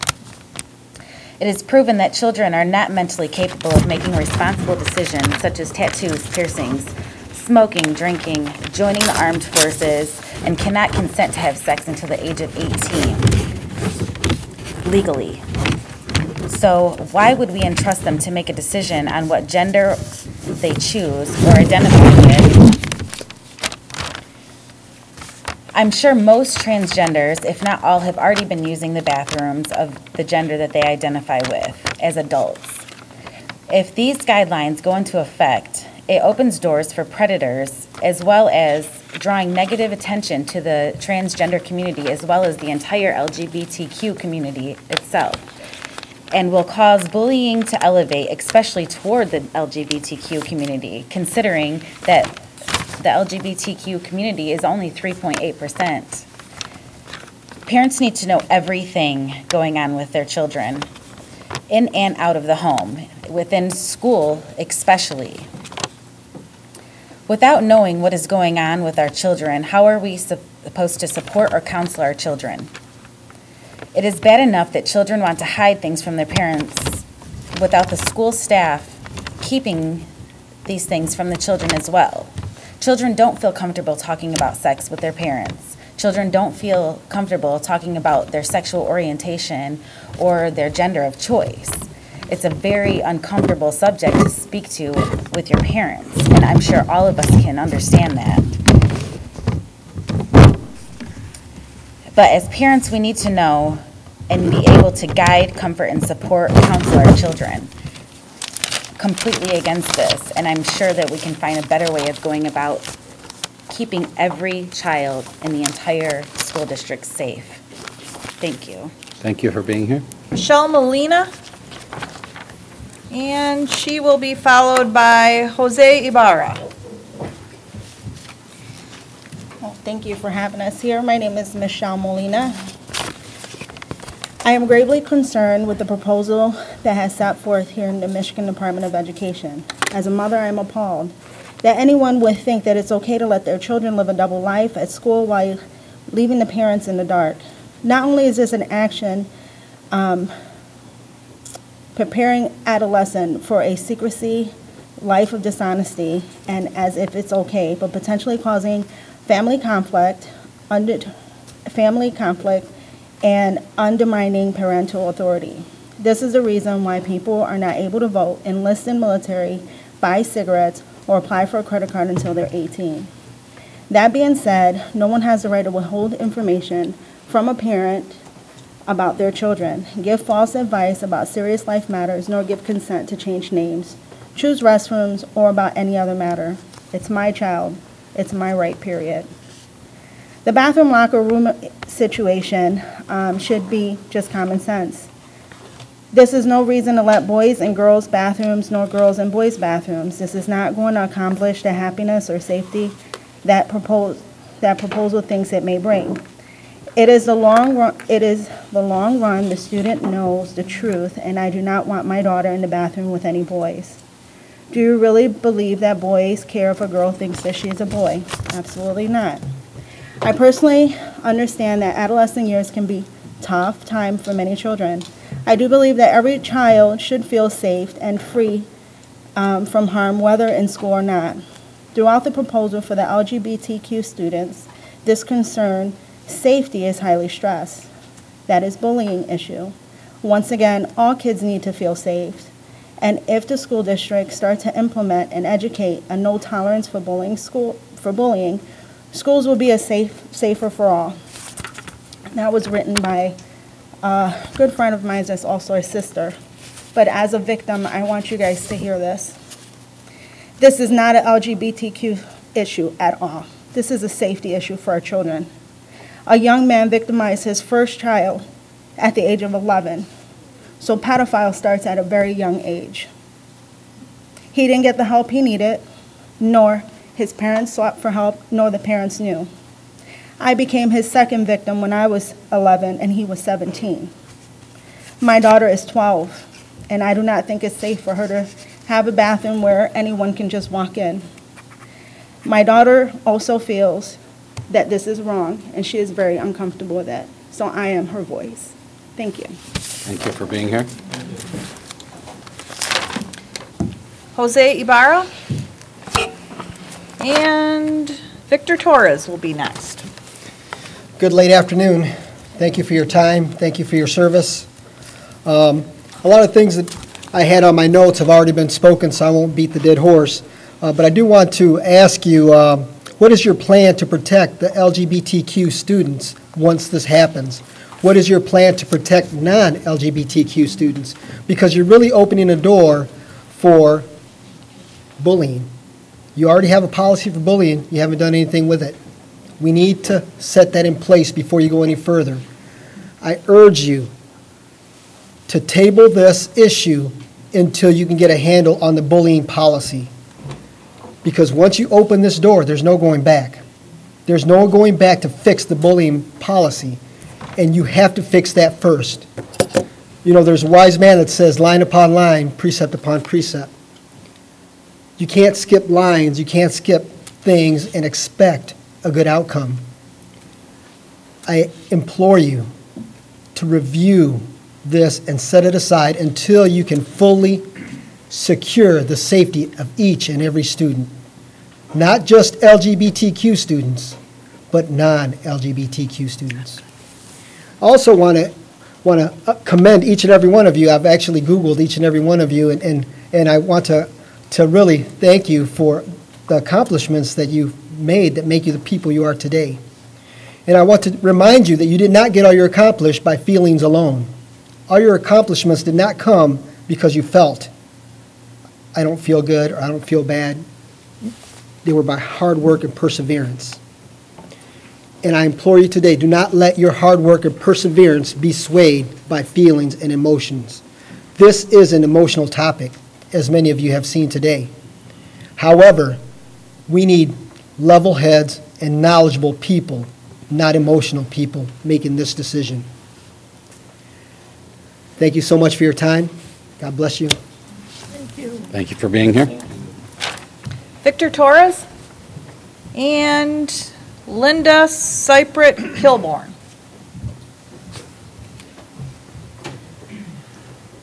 Good evening. My name is Victor Torres.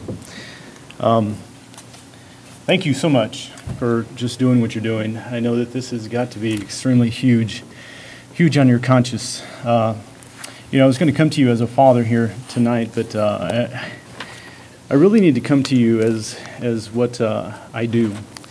I'm a minister of the gospel. Um, And it was very eye-opening to be able to see so many different people's uh, opinions, uh, so many people's uh, stances and, and where they are and what they think. And, and I, sat back and I wondered, do all of you already have your minds made up? Uh, it's just, it's easy for me to, to just look at that and I just wonder, is anybody's thoughts and concerns here really adding up to make any kind of difference in your life um, or in the decision process? And, uh, and I think about the LGBTQ uh, individuals. Um, and my heart goes out to them. They, they really do. Um, you know, I really don't know what is ministered in many other churches, but uh, I know what we minister at our church. Um, but I will tell you this uh, we don't compromise the gospel. But at the same time, people are people. And so when you take a look at this, uh, I just need to ask this question to everyone, actually, uh, that's involved in this is we're talking about discrimination here. But why is it that when people have a particular core value or morals, why is it that they can feel discriminated against and nothing is done about them? Why is it that they can uh, not express what they don't want to be a part of, but we're expressed as haters? Why is that? You see, in, in our church, I mean, we, we love people, we really do.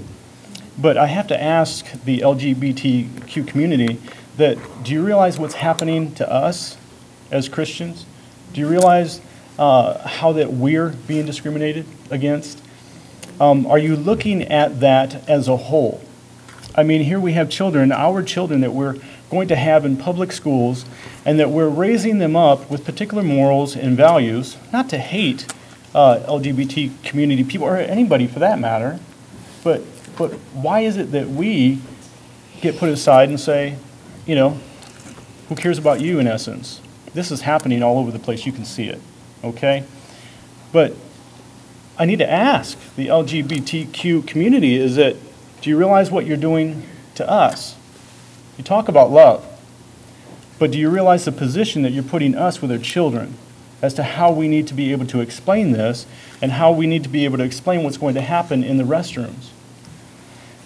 Unisex bathrooms is, is, is a very good place to start with.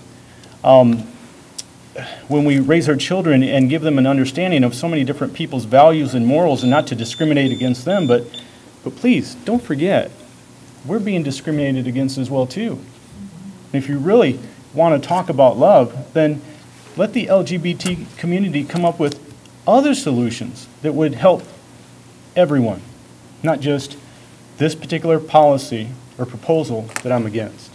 Thank you. Thank you for being here again. Linda Cyprick Kilborn. And she will be followed by Sandy Cal. Well, I can say good evening.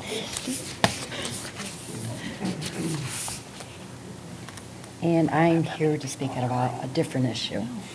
Abaju, ani nishna, ajawana nimkikwe dishes nakas, she condotum porks the Kalamazoo River in Donjaba, AKA Linda L. Cyprick Kilburn. I'm from Marshall, Michigan. Greetings, my name is Southern Thunder Woman, and I would like to let the State Board of Education know that my right to speak, my free speech, at the Paw Redskin School Board meeting was denied by the President Karen Ayers at the public participation portion on April 13, 2016. And as you know, Paw Paw is a public school system. I'm asking the State of Michigan Board of Education to send a representative to the next Paw Paw Redskins School Board meeting to witness whether I will be granted the right to speak at the public participation or will I be not be denied my right to speak again. The next meeting is Wednesday, tomorrow, May 11th, 2016 at 7 p.m. I will be protesting outside before the meeting to assure that my freedom of speech is acknowledged, at least outside of the meeting. Indifference to the rights of Native Americans is racism, and this base American right should not be an issue.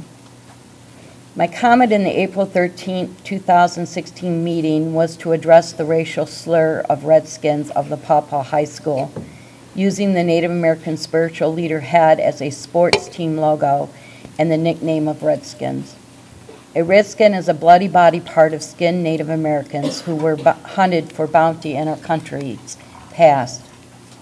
As you know, every child is entitled to a healthy living and learning environment in public school systems. The nickname Redskin does not allow for this. My right to speak on this subject has been violated. I would like to say Chi the State Michigan Board of Education for its support and the resolution that was issued. A lie does not become truth, and wrong doesn't become right, and evil doesn't become good just because it's accepted by a majority. Justice delayed is justice denied. Give me my freedom of speech. Thank you. I'd like to leave these. Sandy Cal is next, and Jeannie Cagle. will Sandy Cal left? No, Jeannie Cagle. Oh, here, this is Sandy Cal, right? Yes. Okay. And then, let's see if Mr. Michelle Strange is here following the left. Okay. Patrick Rouse? He's here. He's here, okay, so, Sandy. The LGBTQ proposal contains many complex issues regarding our children. I disagree with the memo because you want to include the LGBTQ content in every subject such as English, language arts, creative arts, and health education. In the memo, it states on line item number five, and I quote, "Inclusion of LGBTQ topics in curricula in areas such as social studies, English, language arts, creative arts, and health education, including sex education, end quote. In creating this memo, you are alienating the two largest religious groups in our state, the Muslims and the Christians, who believe this information should be left in sex education classes. Many of them already opt out of sex education for their religious beliefs because they believe they should teach their children about sex, sexual orientation, not the school. By including what this board states is the discovery of sexual orientation in every subject, you will force the parents from these two groups to remove their children from our public school system. I read recently from Matt Sharp, ADF legal counsel, who represents 63 children in a lawsuit against a school district imposing similar proposals and the Department of Education, and I quote, "No government agency can unilaterally redefine the meaning of a federal law to serve its own political ends. The Department of Education is exceeding what is legally and constitutionally called to do." End quote. Is this board ready for this type of lawsuit? Because based on our interactions with the parents in Michigan, you will either have a massive drop in attendance and/or a lawsuit from angry, angry parents. I'm just asking you to stand with us, the parents, and find a better way. This is not it. Thank you. Thank you. Thank you. Patrick Rouse, and then Nicole England.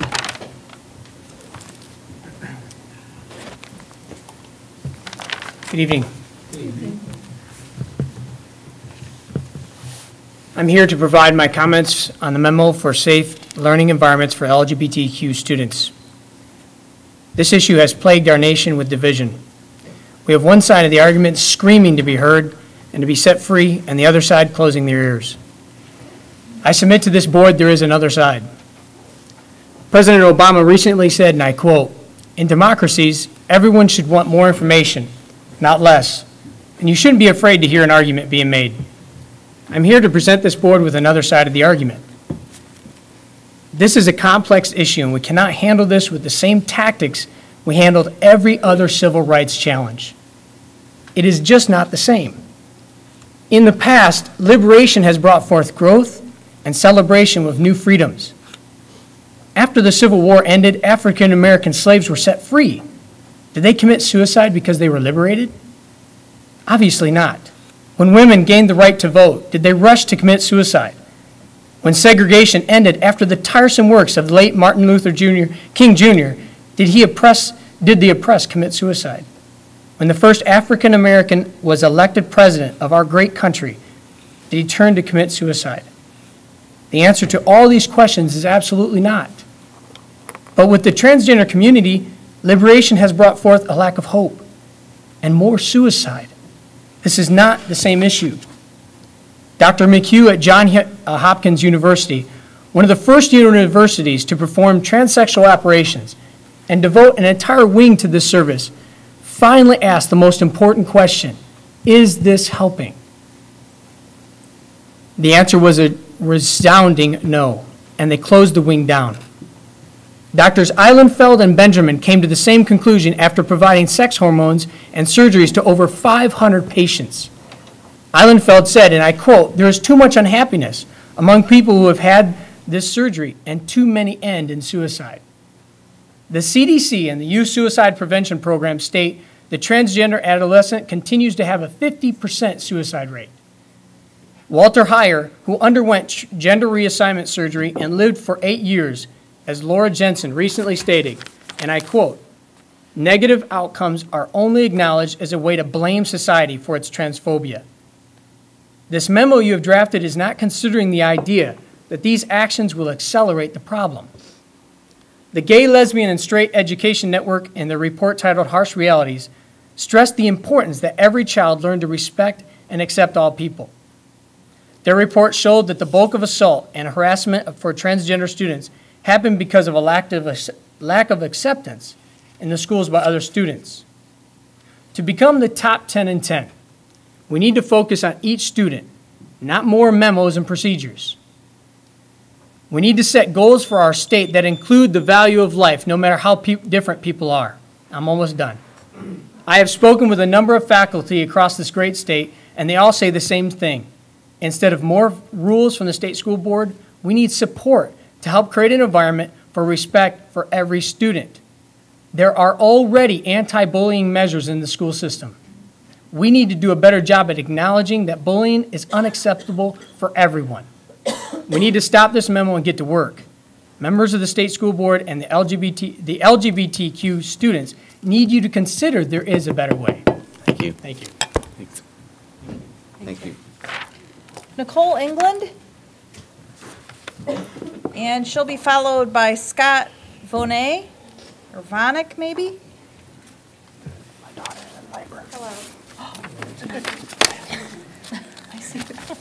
I was here last month. I am Nicole England. I was here representing my daughter who has been bullied by a person who identifies with the LGBTQ community.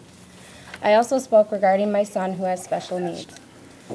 Today, I come before you again with a petition of parents who were unaware of these need, these guidelines.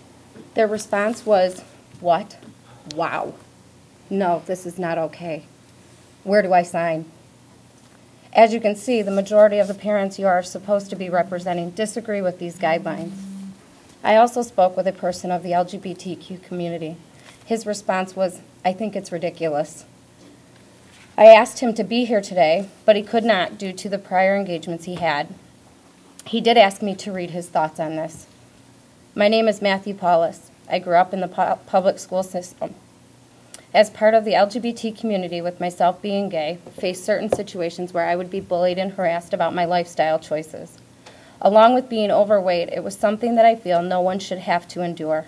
I developed a thick skin early and didn't really pay attention to the negativity surrounding myself. Other kids in the K through 12 may not take this approach. It may hit them emotionally harder than others.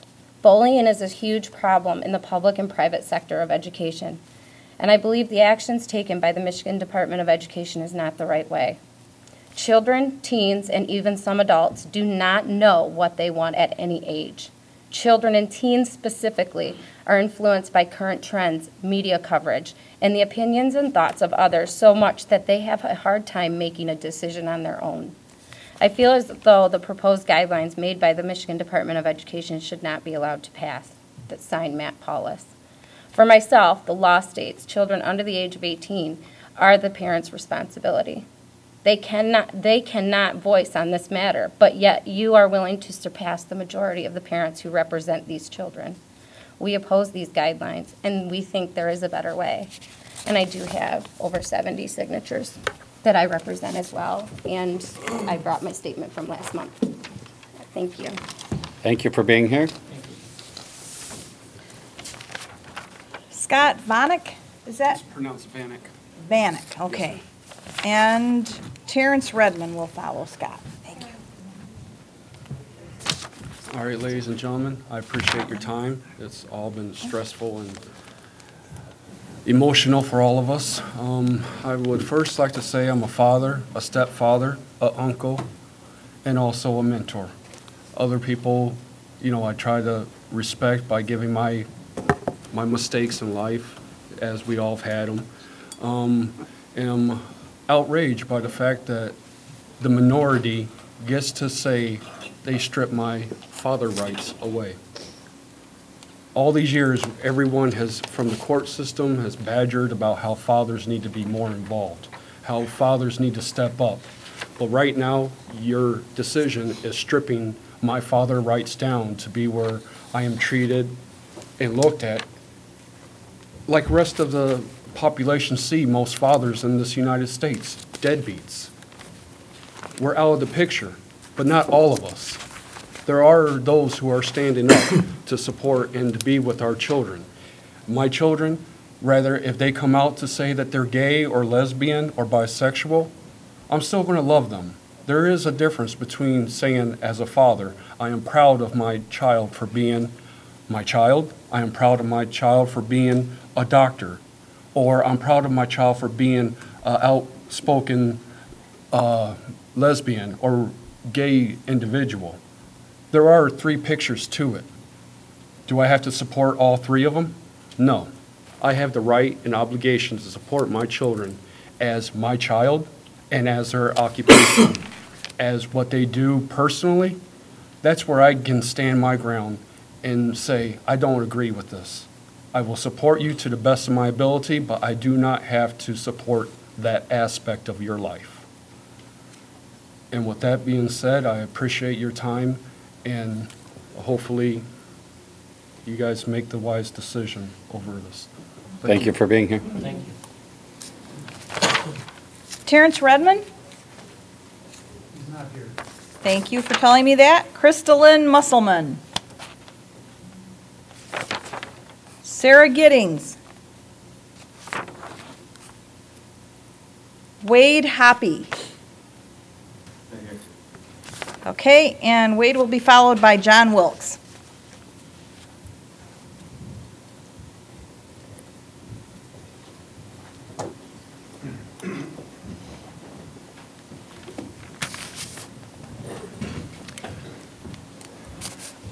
Good evening. Uh, My name is Wade Hoppy, and I am a resident of Van Buren Township. I'm here as a parent, and um, also, I guess I'm a businessman as well. I uh, I wanted to, um, I guess, uh, express my opposition to your proposed policy, uh, and based on a few different reasons. Um, I guess uh, the the first is that the current policy of segregation by biological sex is perceived to be discriminatory. And um, whenever an action is slapped with that label, uh, it automatically seems to be said to be out of bounds. We can't have discrimination against anybody for any reason. But that isn't really how our laws work. We discriminate against people all the time. Our laws are designed to mediate between opposing parties. That's why we have laws. And it always favors one group over the other. Uh, If the um, republic is working properly, the laws should favor the will of the majority. That's why we call it uh, consent of the governed. So to dismiss um, a policy because it's perceived as discriminatory, I think is deceptive. Um, In addition, I've heard some comments uh, that have been passed around by people who have supported this proposal, and uh, they have said that, uh, well, opposition to this proposal that is motivated out of religious principle is somehow disqualified, that that is, um, that also is not to be considered. And I think that that's wrong because um, all laws originate from somebody's moral conviction. All laws come from someone's deeply held conviction. And uh, as far as the law is concerned, the origin of those convictions is irrelevant. Each citizen feels strongly about a policy. Uh, it doesn't really matter where it comes from. They have the right to express that and try to formulate law. Uh, the desire to create a safe learning environment is itself a moral conviction and is a demonstration of that very idea. Also, I've heard uh, the, the idea passed around that those who oppose this are, are bigots. Um, but restraining behavior is not bigotry, it's the essence of law. That is what a law does. It restrains someone's behavior. Preferably, it restrains the minority's behavior. And so, again, slapping such action with the term bigotry uh, is deceptive. It isn't helpful in advancing the, the discussion. Finally, there is an appropriate legal way to form policy to protect behavior if the American people really want to have that happen. The legal way, though, is not through the judiciary or through bureaucrats, but instead through our legislature. Thank you. Thank you for being here. John Wilkes and Luke Shuck. Before my time starts, I want to applaud you for staying. You could have easily said, hey, our time is from 12:30 to 1:30, we're going home, and I appreciate you staying and listening to each of us babble on. Um, I'm a father of four children, uh, two of which are still in the school system. I'm deeply concerned about the course of action uh, that this uh, referendum will take in regard especially to the bathroom, locker room uh, policy. As a former school teacher and a 20-year veteran of working with teens, I can see devastating consequences from allowing a young person the option to choose which bathroom or locker room they will use. You're opening up the ability for our young people to legally view members of the opposite gender in the most private and vulnerable settings. It, it- it's not that I'm worried about the confused individual. I'm worried about the predator, and our schools are filled with them. Not because our schools are bad, but There are bad people that go to school, like there are bad people that go to church and bad people that go to the grocery store. Teenage rape is already a concern in many high schools, and now we're opening the door for predators to feed their fantasies and possibly act on their desires because we provide them an environment to do so. It doesn't make sense to abandon the feelings and concerns and fears of 99.7% of the population to accommodate the less than three-tenths of 1% that call themselves transgender. The truth is, we know this agenda is not coming from students who are afraid to go to the bathroom. Yet, if we allow students to choose what bathroom they're going to use, you will cause a large number of students to fear using the bathroom at school. It would make sense to me if we had a one-stall gender-neutral bathroom uh, for students to use, and I think that would solve the problem if we had a few of those. After all, the reality is there's only a certain number of handicap parking spaces. Why? Because there's only a small number of legally qualified handicap drivers. So you don't make every parking space handicapped because you have a small amount that want a handicap parking space. In regard to why we're having this debate, we must decide, are we willing to abandon genetics, accepted science, and biology as fact, or will we consider what a person's desired self-image is as fact? If we choose a person's desired self-image over reality, then we have to question how this board is going to handle the 42-year-old teacher who truly feels inside he's a 16-year-old boy and ought to be able to have physical relations with students. If I truly feel inside me beats the heart of a Cherokee warrior, and I don't want to demean the lady that just spoke, but I can't put that on my college admission as a Native American because I really feel like that's the way I am on the inside. Uh, I'm not entitled to tuition assistance that a Native American gets. Does that mean I'm discriminated against and I'm going to suffer hardship, ridicule, and rejection? Because of what? Genetics, accepted science, and biology. I'm not Native American. Please, do not cave into pressure from special interest groups. They have no stake in the education of my children. Rather, listen to the parents whose children are being adversely affected if we choose this course of action. And I know you understand that whatever legislature you put forth, it will not stop bullying in the school system. So this won't help with the bullying situation. Thank you. Thank you for being here. Luke Shook. And Luke will be followed by Terry Lynn Shields. Is it night yet? Pretty close. Um, My name is Luke Shook. I just recently moved here uh, from the dreaded state of North Carolina, I guess. Um, But uh, um, I, I came here not knowing what I was going to say. Uh, I got a lot of different insights from, from two different perspectives.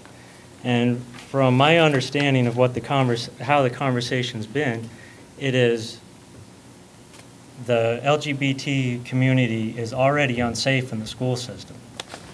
They've already given numerous accounts of being bullied, um, you know, not feeling safe. So with that type of environment, how is it that these people that are bullying them now, how is it that by letting them go to a bathroom or the locker room or being on a football team or a basketball team, I don't see how that's going to make the situation any better. I've got a nine-year-old girl and a seven-month-old girl. I have to make a big decision.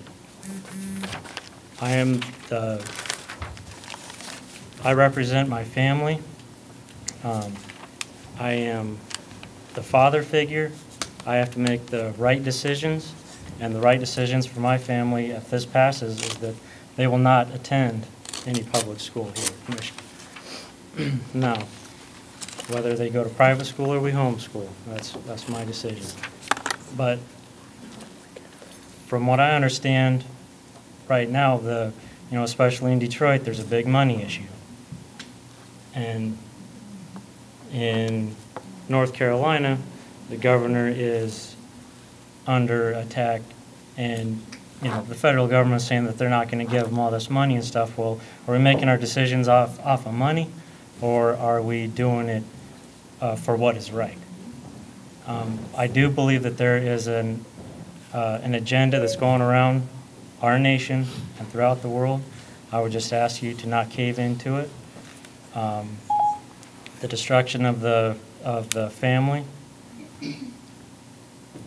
And I would propose, uh, may- maybe just, well, I would, I would propose a- an an easy, an easy solution uh, would be to get Jesus back into the classroom. And to, uh, once we start getting the, teaching the Bible again, uh, children won't be as inclined to be these, you know, bullies and haters and all that. So I would, I would propose to uh, start teaching the Bible again. And thank you for your time. Thank you Thank you for being here.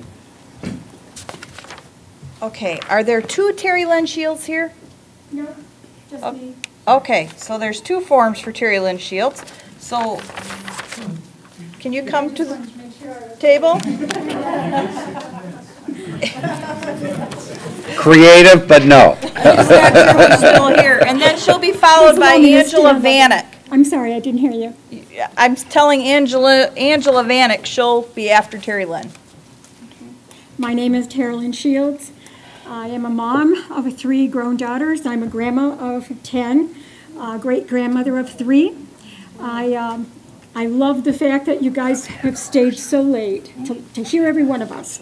I appreciate it. I'm excited about it. Um, however, I'm not excited about your proposal. Uh, and uh, it is not because I'm against LGBTQ not at all. It's because my grandchildren are not taken into consideration in this proposal.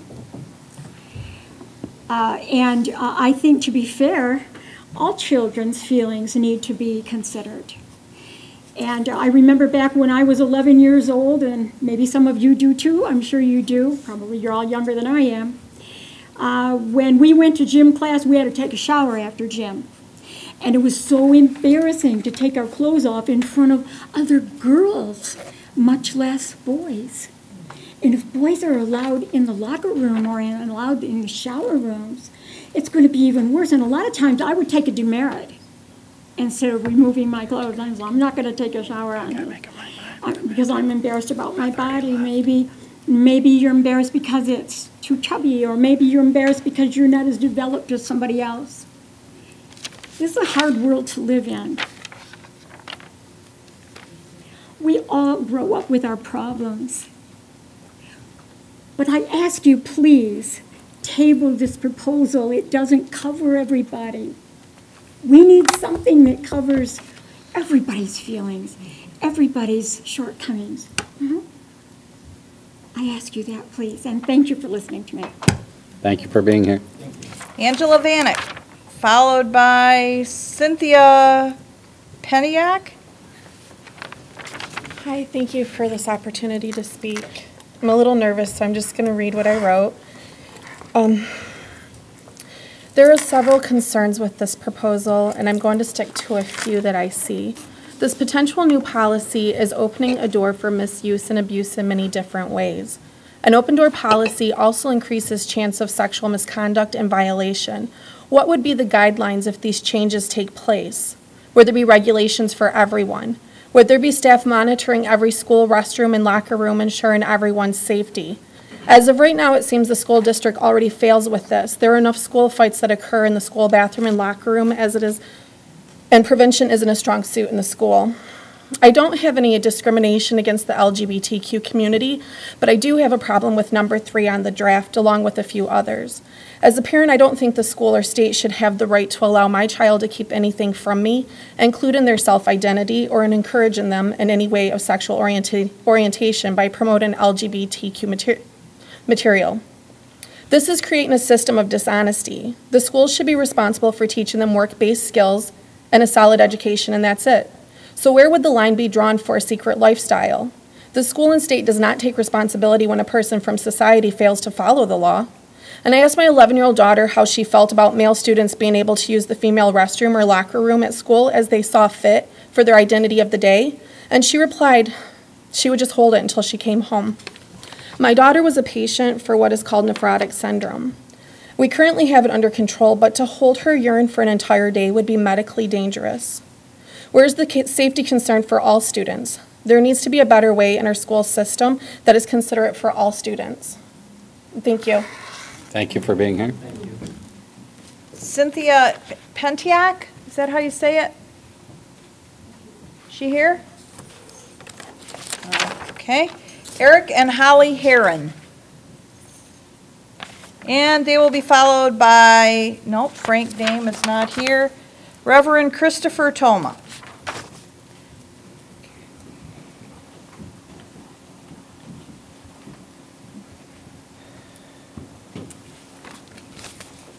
Good evening. Good evening. I believe I've been waiting along with you about seven and a half hours to get to this spot. Um, I was a member of, and am a member of, the Michigan Education Association for 15 years. Um, I've taught in elementary schools. I am a parent of three daughters. I guess what amazes me is the boost you are inadvertently giving to the homeschooling community. Because traditionally, people my age who are interested in homeschooling face a huge amount of pushback by their parents. And I am seeing grandparents and reading comments of them telling us to pull our kids out of the public schools because of this. I have a daughter in third grade, and I am the type of parent you want in public schools. I donate my time, I support every child, not just my own. So for this counterproductive push to happen to the public schools, of which I want to see succeed, it's tragic. I can't imagine what it would be like to feel every day that somehow I was a mistake, that something went wrong when I was made, and instead of the adults I trusted showing me that I was not a mistake and that I was exactly who I was meant to be inside and out, those adults encouraged my confusion and hurt. I promise you are not helping these kids by doing this. I listened to many transgendered individuals today, and I heard their brokenness, and I have compassion. And I think the reason the issue is so difficult is because those who want to stand on truth and science and fact being taught in our public school systems, we have compassion for people who are genuinely conflicted. We see it. We don't know why. But it isn't helping anybody to put this proposal forward. I realize it's popular. It's a hot topic right now, but this is not right. For me, as a teacher, to be forced to refer to a child as a gender that is not on their birth certificate, I believe you are requiring me to falsify legal documents. Not only are you asking children to keep secrets, but you are asking us to lie. Aside from the issue of sexual morality, we should not lie. We should not keep secrets. And we should want what is best for all of us. I would never be unkind to people who are different from me. But there is a type of reverse discrimination where young people today are telling you they are going to homeschool their children because homosexual activists have all of the power in high schools. And anyone who holds a philosophical or religious belief opposite to that is persecuted. This is not an even playing field, and this is not right. We can do better. Thank you. Thank you for being here. Thank you. Reverend Christopher Toma, followed by Tim Totten. Three minutes for a preacher is not. We know you can do it. We'll, we'll see. Um, I did not come with a prepared statement, although I have been um, listening and taking a lot of notes. And I should start off, first of all, by saying um, that I don't intend to speak from a theological perspective. I'll let my uh, appearance communicate to you where I most likely stand on this issue, although the church is largely at fault for being a confusing point of origin with regard to the Word of God. Um, I do not support this. Um, Now, again, I do not want to speak theologically, but I feel I'm doing a disservice if I do not tell you, um, as a a called and ordained servant of Christ, uh, proclaiming His Word in the world, uh, Romans chapter 1 makes it very clear that people wanted this, and they wanted this, and they wanted this, and they wanted this. And three times the Apostle Paul says, uh, and God gave them over. Uh, In other words, God gives up and eventually gives you what you want, and things come undone. Um, So there, I, I I will leave that uh, theology. Now, approaching as simply a citizen, um, you are uh, serving me, and you are serving the people who have come this day um, to testify before you. Um, Thirdly, um, I am the pastor of a parochial Lutheran school, and I can tell you for a fact that since this particular proposal came to light, uh, there are are many, many requests coming to our congregation and school um, with regard to uh, parochial education. So I do believe that you will lose a lot of students over this issue. Um, Now, uh, just to continue, talk, um, some observations that I've made at least, um, talking about um, how this is not a biological issue, and yet the point has been made throughout with regard to what we desire to do biologically, uh, just seems kind of silly um, to me. Um, Second, um, I've noticed, I've heard, and I find it peculiar that a lot of the statistics on bullying and transgender and molesting and all, and the like are largely connected to a common uh, denominator of single or foster family homes. Um, Does this not point to uh, the importance of mothers and fathers um, together uh, in the family? Uh, And then thirdly, um, on behalf of the church now, uh, when the homeless need shelter, when they need food, when the scourge of war has decimated, has produced orphans, has produced widows. Uh, throughout history, uh, it has been the church that has come forward to care for these people. For 2,000 years, a lot longer than any of you in the government. Uh, and it's somewhat of a straw argument to make the case against the church that we are unloving uh, or heartless. That's a, that's a false, false argument. Now, lastly, I have my 12 seconds or 12 minutes, as that one woman put. Um, I merely would like to ask you, what are the contours of this argument from this point forward? Um, I would like to know, as a citizen, uh, the objective contours of this statement or, or of this proposal. Where does it end? And that's a question I'm asking you. I know it's your job to sit and listen today, but you are in service to us, and I believe we need that answer from you. Does this end with transgenderism, or does it very soon include what is being teed up now as transagerism, which is I'm a 43-year-old man, um, but I identify as a nine-year-old, uh, but I also identify as a woman, and so now I have the right to access all of those services available to nine-year-old children? Does it go on to animalism? Where, where does it stop? Those are very important questions that mean a lot to the citizenry. And I would just simply put forth, for the sake of the record, that you won't answer me this question because you don't know. You can't answer it. Because once it happens, there's no going back. You've set the precedent. I thank you. Uh, Please know that we pray, my, me and my congregation, we pray for you daily. It's not an easy job that you have. You are loved in the Lord, supported in prayer. I pray you will be discerning to the citizens you serve. Amen. Thank you. Thank you. Thank you for being here. Tim Totten. And following Tim Totten is William Wagner. Hi, I'm the father of two young girls, and I couldn't stay at work. Uh, Looking at their picture, I had to come and say something. I am adamantly against this proposal uh, uh, because of the usurp- usurpation of parental rights. I also want to call out uh, the economic ideology driving a lot of the way this was written. That uh,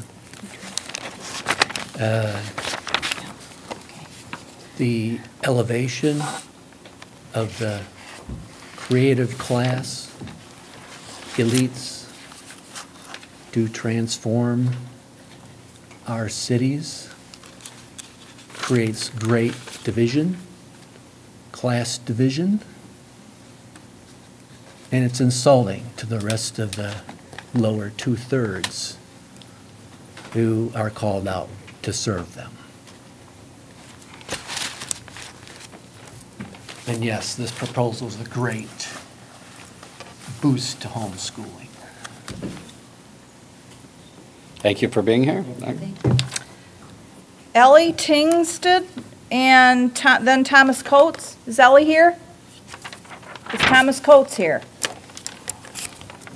Is Greg Craddock here? City guys. Jim Elias. Douglas Kelsey. Thomas Cusick. Gordon Rogers. Ronald Rashwitz. Ton Belliger. Walter Luth from Midland. John Abbott. Cecilia Tombelli. Okay, so everyone's spoken then? Okay, and then I need to read into the record, um, something from State Representative Lana Theis that she sent to the board, um, which is in- input on this guidance. I am writing, I am writing today to express my concerns regarding the draft statements and guidance on safe and supportive learning environments for LGBTQ students. Below is an outline and summary of the concerns I have. Number one, lack of parental control. The lack of parental control and involvement is a major concern that must be addressed. Page four, section three reads, privacy and, you can find that in the statement, I won't repeat it for you. The section explicitly prohibits, without the express permission of the child, school districts from notifying a parent or guardian about the situation with their child. Per the board's own information, students who are dealing with LGBT feelings are at a higher risk for suicide and depression. The fact that schools would require administrators and teachers to keep something so dra- dramatic from students is wholly unacceptable. Number two, use of locker rooms and bathrooms. Sections four and five of the proposed guidelines would allow school children to use locker rooms and bathrooms based upon the gender they chose to identify with rather than the one that they were assigned at birth. Research shows one in four girls are sexually abused before the age of 18, and allowing members of the opposite gender access locker rooms and restrooms is opening the door for predators to take advantage of the system. Number three, sports. Section six of the guidelines would allow school, school children to participate in sports based upon the gender they identify with rather than the one they were assigned at birth. This means that boys could start in girls' sports like volleyball and softball. Undoubtedly, this will create an unfair athletic advantage as you will be asking girls to compete against students who have the benefit of testosterone, uh, which is a steroid, giving them an unfair strength advantage. Competitive sports teams at all levels are separated by sex for a reason, and steroids are prohibited in sports because they give athletes who use them an unfair advantage. Even if one school district chose not to adopt these policies, their students could be disadvantaged when they play against a district who has adopted these policies. Number four, LGBTQ curriculum. My final major concern with the proposed statement and guidelines is the requirement for districts to include LGBTQ topics included in the sexual education curriculum and be provided in the school library. The board does not include age limits in their recommendations, and I have concerns about how this educational information will be disseminated to our children. This policy certainly seems intended to indoctrinate, not educate our children, or it would consider the safety of all our students, not just a select few. I strongly encourage the members of the State Board of Education to reject this proposed statement. No child should be put in a situation where they are subject to potential bullying or abuse, but the answer is not to erode one child's safety in order to benefit another. It is entirely possible to ask schools to provide single-stall bathrooms for the benefit of any child who would be uncomfortable using a normal gender-specific restroom or locker room facility. I thank you for your time and consideration. Sincerely, Representative Lana Theis, State Representative, 42nd District. With that, is there a motion to approve the minutes of the regular meeting, the Committee of the Whole of April 12th? So moved. It's been moved, supported, any conversation? Seeing none, all in favor signify by saying aye. Aye. Opposed, the same, motion carries. John? Uh, One, thanks everybody for listening to everybody, it's really important. Um, I think the testimony we heard speaks for itself. I I think the only thing I would say is, it would be helpful to share with each other and w- more broadly, um, the list of the work group that worked to develop the guidance, make sure everybody has that, and the the memo that that staff put together describing their historic work uh, in in support of districts and the growing uh, requests and interests for more guidance. That would be another helpful piece of information. And I would encourage you to circulate the list of organizations that uh, have uh, weighed in in support and in opposition to the guidance um, as well. I am going to forego my report at the late hour. I want to thank I know, Rick, this is your last meeting, I think. Next, You're not next good? month is my last one Oh, with this. good, good. I was All right, afraid good, we- then, we'll, We'll hang on. I then had- can we postpone your report then till, you Um, have something you need to? I just wanted to share something very briefly. Yep. Um, Comments from a gentleman, his name is Rob Lawrence. He is the chairperson, I should say, the, um, the president of the Birmingham, Michigan uh, School Board. He does not speak as a board member, he speaks as a father and as a, as a church uh, member. He says briefly, between the years 2009 and 2010, I helped teach our church communion class for eighth graders. One of our classes included a child who self-identified as a boy. Until that point, I never met or had conversation with a transgender person, to my knowledge anyway. The child was thoughtful, intelligent, and funny. The class accepted his gender identity without question. I was also accepting, but I was far away from understanding what he was feeling inside. Over the course of the year, true understanding never really came to me. How could I ever understand the essence of finding myself inside a body that didn't match who I was? Not understanding evaporated simply by focusing on the needs of that child. We saw him as one of our students, and it was our responsibility to help guide him and the others on a journey of personal passage and discovery. So it, it turns out that um, he learned, just as I've learned as a Michigan Teacher of the Year, a lot about this, this question of gender identity. To me, transgender girls are girls. That's, that, that is part of my evolution as a, as Teacher of the Year this year. Also, transgender boys are boys, and, and, and that realization is, is key to understanding this notion of where kids belong and how should they, um, where should they go, what should they use. Finally, um, I, I think that, you know, as an educator, I never want to cut out parents or parental involvement. I think that this whole notion of parental consent is really largely an issue at high, the high school level where there's a real visceral fear or a reality of being kicked out of the home. If you know that your parents or your responsible adult is, is not going to let you stay, will, will, will disown you, then that's the impetus for this notion of why I, you know, as an educator, would accept the will of a child to say, call me by my, my, my gender identity name, call me by these pronouns, without necessarily consenting the responsible adult first. And, and that's something I think that also needs to be clear. To your point, John, if we could sort of take all these comments from all of these uh, wonderful individuals who came and, and shared today and, and revise this, these guidelines so that they are, they just clarify some things, I think that would go a long way. Thank you. All right, so our next item is the, the approval, of the nomination of Special Education Advisory Committee. Terry is here, but we're not going to ask her to report, only if you have any questions. It is uh, the normal nomination process. I just had a couple of corrections in the information that was given to you. Um, There are a couple of terms that were indicated to be 2018 that should have been 2019. Um, And so I don't know if you want me to just give that to Mert so she Yeah, can we'll correct just- it in a mailing to you? Yep. Okay. All right. We're going to postpone top 10 and 10. We'll do that during the retreat. Is there anything on state and federal legislative update we need to go through? Well, yeah, there was a statement created on a set of bills regarding seclusion and restraint. Um, So I'll, I'll pass it on to, Eileen and um, Michelle are going to introduce that. Do you want to actually just move it for approval, or do you want me to? Sure, let's, yeah, I think everybody. That would be wonderful. Um, Do I, do I move? Make a motion. Oh, I I make a motion that we approve the, um, this thing here, this All right, it's draft. been moved. Is it supported? Four oh nine. It's been moved and supported. I think the statement is in line with the action we've previously taken on the issue. There's nothing new here, I don't think, is there? No, but we'd like to talk for 15 or 20 minutes. Uh, uh, Thank you, Eileen and Michelle, for working on this. Thank you very much for working on this together. Did you- Did somebody support it? Yes, it's been moved and supported. Any questions on it? Seeing none, all in favor signify by saying aye. Aye. Opposed? Thank you very much. Anything else, Cassandra? All right, consent agenda. I move support of the consent agenda. It's been moved. Is there support? It's been moved and supported. Any questions? Seeing none, all in favor, oh, sorry. The only item is the K, the endorsement of the lottery assessment. Yep. Yes. Thank you. Any, uh, okay, all those in favor say aye. Aye. Opposed, the same. Is there any comments by state board members? I've already given the, uh, I can't even Your- your remember report what- of your commission. Yes, I did, thank you. Education Commission of the States at lunch. Uh, I would just like to say, I met recently with Ed Trust, and they came out with this um, report, so I just brought a copy for everyone, so you can read it at your leisure. Thank you. I'd just like to say I was very impressed by the testimony uh, today, um, well, uh, everybody's views, but the people were very polite and orderly and respectful. and I think it was a, I mean, it's exhausting, but a- an exhausting example of, as one of the speakers said, an example of Democracy. democracy in action. And Absolutely. I congratulate all of my colleagues up there. Yes, Lupe?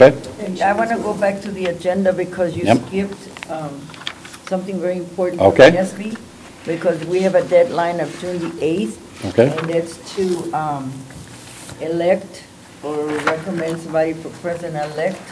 Okay. And an area director, and then awards.